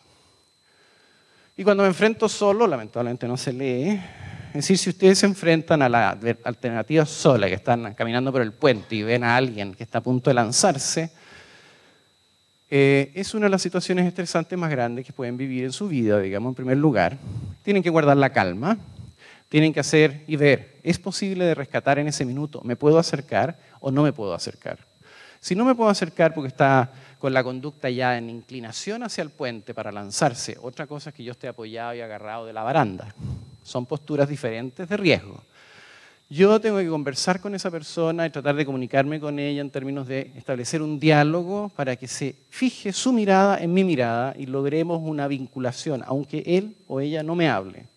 Solo tengo que lograr que fije la atención sobre mí y seguir conversando con esa persona lo más tiempo posible para bajar los niveles de tensión y sacarlo de la condición crepuscular en que se encuentra, porque está en una condición crepuscular en ese minuto, en la decisión del último minuto, y tengo que descubrir si esa persona está psicótico o no está psicótico, si está bajo el efecto del alcohol o no, porque si está bajo esas condiciones, en cualquier minuto se va a lanzar. Si no está bajo esas condiciones, quizás tenga una oportunidad de diálogo con él. Mientras yo lo distraigo, otro personaje tiene que acercarse por otro lado dentro de lo posible. Esto requiere experiencia, pero muchas veces no tenemos más alternativa que enfrentarlo solo. Y en ese caso, mientras más logre la atención de esa persona, mejor va a ser. La depresión puede afectar a cualquier persona, la demarcación de duelo, trastornos del estado del ánimo. Eh, tenemos que entender que la depresión tiene un tratamiento efectivo y que puede ser lograble, la mayoría de los casos son recuperables, y por eso nos centramos en los trastornos anímicos, porque la persona que entra en esta crisis la gran mayoría de las veces tiene un cambio anímico. No siempre una depresión formal, pero tiene riesgo y por lo tanto yo tengo que acogerlo mirando desde ese punto de vista. ¿Qué es lo que podemos hacer? Localmente desarrollamos redes. Aquí está unidad de atención de salud mental, que es una unidad en crisis, que son un psiquiatra o enfermera, que lo que hacen son los rescates de los pacientes de la urgencia para que no se pierdan. 50% de los pacientes vistos en el sistema de urgencia se perdían a los tres días y no sabíamos dónde quedaban de los intentos de suicidio. Y teníamos que hacerle un seguimiento. Y lo que se hizo fue crear esta unidad para hacer el seguimiento y después derivarlos a la atención primaria que hace una intervención familiar en persona, a, la persona en sí, y hace una intervención a la familia, haciendo una psicoeducación y preparando la escena para el seguimiento de la atención primaria posterior y los controles y acompañamiento. Aquí están los distintos niveles de, intervención, no voy a entrar en detalle, hay una serie de instrumentos que se usan en esa unidad, que está, es una unidad piloto única en el país en este minuto y que queremos validarla a nivel nacional para su uso en otras regiones.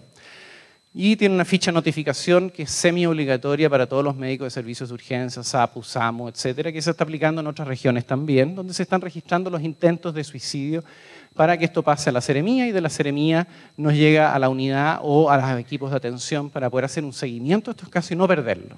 Y ahí está donde podemos salvar un montón de gente. La ficha interna de la unidad y una ficha electrónica con datos sociodemográficos específicos de la literatura para poder determinar factores de riesgo y factores predictores de conducta que nos permitan hacer después las capacitaciones de los equipos de atención y los gatekeepers para poder llegar con mejor información. Aquí no voy a entrar en esto, pero ustedes ven que son muy jóvenes. Volvemos a aparecer este grupito de personas que, son que han cometido o han hecho un intento de suicidio son personas menores de 19 años. Después viene grupos entre 20 y 24, 25 y 29, es decir, gente joven que se está intentando matar. Coordinación con otros equipos y redes, se hace un mapeo de la región y se ve dónde están las tasas de intento más severas, se ve qué población está asociada y de ahí queremos después hacer las intervenciones específicas por comuna para saber dónde tenemos que hincarle el diente, si son más jóvenes, si son más viejos, si son más mujeres, si son menos, más hombres, para poder ver si son temas rurales de trabajo, si son temas escolares, si. En el fondo ahí buscar más específicamente dónde poder establecer la ayuda. Los gatekeepers creamos un manual, que es un manual que está en internet, en una página web nuestra, que permite ayudar a las personas que quieran capacitar a facilitadores comunitarios. Nuestra intención también es que este manual pase a ser, estoy terminando ya, eh, pase a ser un manual de apoyo a todos los equipos de atención primaria a todos los equipos de salud, y no solo de salud, sino que educación, para hacer la capacitación de las personas y preparar redes y mejorar nuestras redes sociales, porque se puede. No necesitamos más lucas, necesitamos más redes, más vínculos, pero vínculos cara a cara, no por WhatsApp. Después tenemos capacitaciones, que son los aquí, digamos, los equipos de capacitación.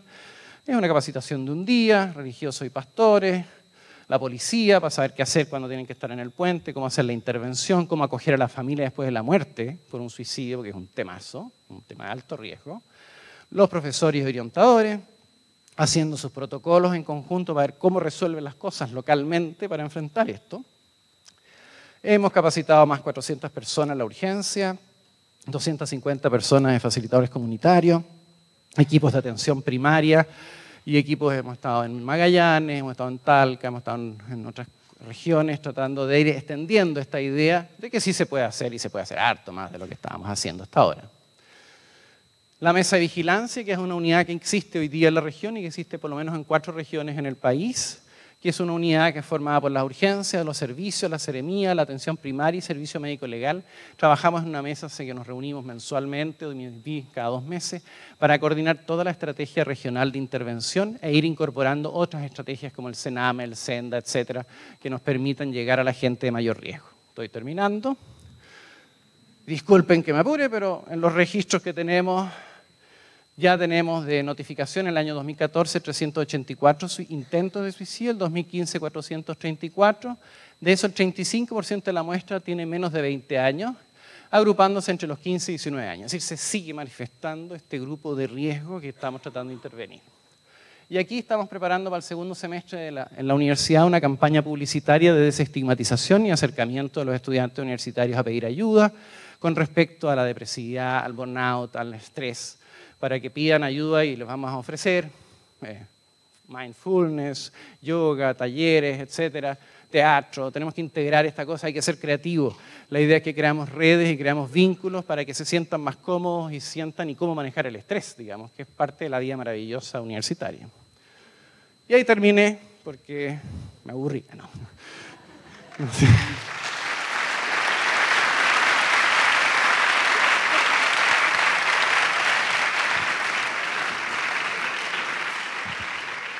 Sí, pregunta. Daremos paso a la ronda de preguntas. Sí, claro. Doctor. Sí. Gabriela, de la Universidad Austral. Eh, me gustaría saber eh, respecto a cómo intervenir en, en el grupo familiar o cercano al paciente que se suicidó eh, si es que es, mejor una intervención personal, grupal, y, quién lo hace, si concierne al médico general o, es parte de la especialidad. Ya, una buena pregunta.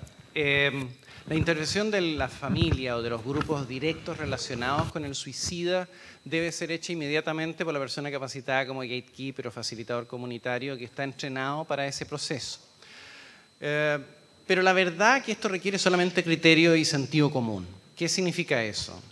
La mejor forma y actitud de enfrentar a una familia en esas condiciones es la acogida afectiva y que puedan descargar emocionalmente su dolor y su, su frustración asociada a esto. Los primeros minutos, las primeras horas, hay una intencionalidad grande de dolor, de ira, de rabia, de descontención, y eso hay que saber acogerlo en términos de no desesperarse por las expresiones de molestia o rabia que se puedan manifestar. Lo ideal es que, por ejemplo, en un curso o en la universidad, si muere un compañero por suicidio, es reunir inmediatamente a la red de amigos más cercanos para hacer una acogida en un taller o una actividad grupal de una hora de intervención, en que lo que se hace es una descarga y catarsis, acompañado por alguien que pueda acompañar y guiar eso, pero que no es de una intervención eh, mayor, de un especialista para cada una de esas áreas. Eso lo puede hacer un médico general, lo puede hacer un psicólogo, lo puede hacer una persona con cierta formación en el área y por eso queremos extender las estrategias más adecuadas. Y dentro de la capacitación de facilitador comunitario está considerado la estrategia de cómo manejar esa situación específicamente, porque lamentablemente muchas veces se maneja muy mal, sobre todo en colegio, en otras partes se trata de ocultar o se trata de negar, cuando ya se enteran a los cinco minutos por las redes lo que pasó. Es decir, aquí no hay posibilidad de ocultar esa información y no hay que ocultarla pero sí hay que expresarla adecuadamente dentro de un contexto en que existe un espacio de tranquilidad para las personas afectadas en expresar sus emociones. ¿Sí? Hola, soy Valentina Ureña de la Universidad de Concepción. Mi pregunta va dirigida a que teniendo en cuenta que nosotros igual somos jóvenes y hace poco estuvimos en la adolescencia, quizás muchos, como yo, tuvimos amigos que hicieron intentos suicidas o que tienen este tipo de conducta entonces, mi pregunta va relacionada más a cómo enfrentar a estas personas que son amigos nuestros. Sí. O después cuando vayamos creciendo a los pares, cómo tratar con un par, porque hemos hablado más de la relación de médico a paciente, pero entre pares, ¿cómo enfrentarlo? Es una pregunta interesante eh, eh, e importante, porque en el fondo una de las estrategias de todo este proceso no es capacitar, por ejemplo, a los escolares o adolescentes en intervención o hacerse cargo. No. Porque eso es una carga emocional muy grande. Es decir, no se trata de capacitar a facilitadores comunitarios a los mismos adolescentes.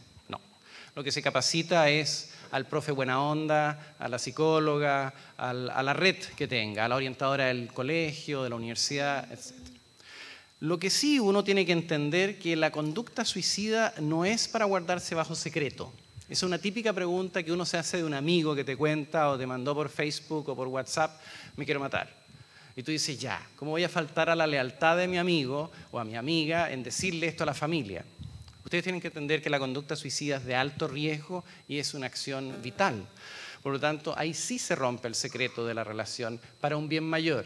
Y el bien mayor es salvarle la vida cuando tú haces eso, lo que tienes que, si te pasa eso, obviamente tienes que tratar de ubicar a la familia directamente para poder informar lo que está pasando, para que no te hagas todo el tiempo cargo tú de eso. Y si no tienes acceso a nadie de la familia, ahí sí tienes que hacerte cargo en términos de ah, crear una red de acompañamiento, de acogerlo, de llevarlo a un lugar donde pueda pedir ayuda. Aunque él no esté convencido ella no esté convencido, tú tienes que hacer una acción no sola, probablemente comunicarlo a otros grupos de amigos y crear una pequeña mini red de apoyo a esa persona. Pero no se queden indiferentes, no lo dejen pasar, porque si se les pasa ese aviso que te dio, que fue una pedida de ayuda, una mala pedida, pero está pidiendo ayuda, la estáis manejando mal y después te vas a sentir culpable cuando esté muerto. Entonces, no es la idea. Sí se puede hacer algo, pero tienes que tener esta sutileza y el cuidado de, respetar a la otra persona, pero también el comunicarte con la red más cercana donde puedan delegarle las funciones, el tratamiento y la intervención precoz. ¿Sí? ¿Aló? Hola. Eh, yo soy Andrés Jalil, de la Universidad de Valparaíso. Eh, quería preguntarte respecto a eh, el 2009 fue el pic máximo de suicidio y luego bajó. Eh, ¿Qué factores influyeron en que empezaron a bajar y esta tendencia que sigue continuamente? ¿Qué opinas tú? Premio Nobel. No lo sabemos. Nos encantaría saberlo. Lo que pasa que aparentemente este proceso en alza es sistema, era sistemático en su elevada, pero no sabemos si desde que se implementaron las distintas intervenciones desde el Estado, por ejemplo, el plan auge, la incorporación de psicólogos a la atención primaria, la incorporación de psicólogos a las escuelas y liceos, las unidades de intervención en crisis que aparecen, si eso está o no está generando impacto, no lo sabemos porque tenemos que medirlo a lo largo de más años. En suicidología, para poder tener una inferencia en base a las estadísticas, tú tienes que tener por lo menos observaciones de 10 años. Menos de eso, la verdad que no puedes hacer inferencias así como específicas socioculturales o qué está influyendo. Y segundo, hay que medir bien. Y para eso lo que necesitábamos primero era el piso. Es decir, lo que manejábamos hasta ahora eran las tasas de suicidio, pero no teníamos antecedentes las tasas de intentos de suicidio. Y para eso se han creado todas estas intervenciones para poder registrar los intentos y aparecen las nuevas curvas con respecto a eso. Y de ahí podemos recién poder determinar las conductas a seguir, pero no te podría decir qué es lo que está influyendo. Y la, alza que, era más, eh, teníamos más tiempo para ver cómo, no sé cómo para estudiar algo súper corto, eh, ¿era por malas políticas públicas o, tampoco podría decir Mira, aquí entramos ya a la hipótesis, digamos. Obviamente, explicar todo por factores socioculturales las tasas de suicidio es un error. Y explicar también todo por factores biológicos también es un error. Es un mix, es multifactorial. En algunas regiones influye más los factores sociocultural. Por ejemplo, uno de los factores que estamos viendo de poca accesibilidad o ruralidad eh, aumenta el riesgo. Es decir, las personas que viven en los campos y que tienen ideación suicida se mueren más por suicidio porque el acceso que tienen es más malo a la red de salud. Una hipótesis. Tenemos que demostrar eso. La otra hipótesis es los niveles de trabajo, la calidad de vida, el tipo de trabajo, porque las tasas de suicidio nosotros encontramos, la mayoría de ellos no estaban cesantes, sino que estaban también laborando. Pero habría que mirar cuál es la calidad de esos trabajos y el nivel de frustración asociado a eso y más los factores socioculturales, porque ahí se mezcla el consumo de alcohol y droga, se mezclan los factores sociales personales. Eh, en gente joven, el maltrato, el abuso sexual, el bullying son factores de riesgo. Y más tempranamente, los factores del desarrollo neurocognitivo del ser humano, los factores de trauma infantil predicen mayor probabilidad de riesgo suicida a 20 años plazo en estudios de largo alcance, digamos. Es decir, ahí hay temas también. Y hay un grupo que son genéticos, es decir, que son más familiares, que hay una familia que tú lo sabes, se ven como cinco familiares que se mataron lo más probable es que esos pacientes hayan tenido todos un trastorno afectivo, bipolar o un trastorno depresivo que aumentó el riesgo y, los factores de impulsividad. Pero esos son como subgrupos de suicida. ¿Más preguntas? Acá. Ya. ¿No quieren que hable más? Pues ya me voy. Salud.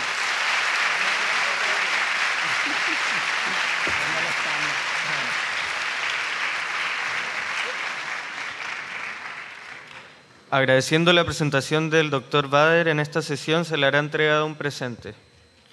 Junto con agradecer la participación de nuestros expositores de esta mañana y la asistencia de todos y todas, finalizamos esta jornada, recordándoles que por la tarde las sesiones paralelas comienzan a las 14 horas. Muchas gracias.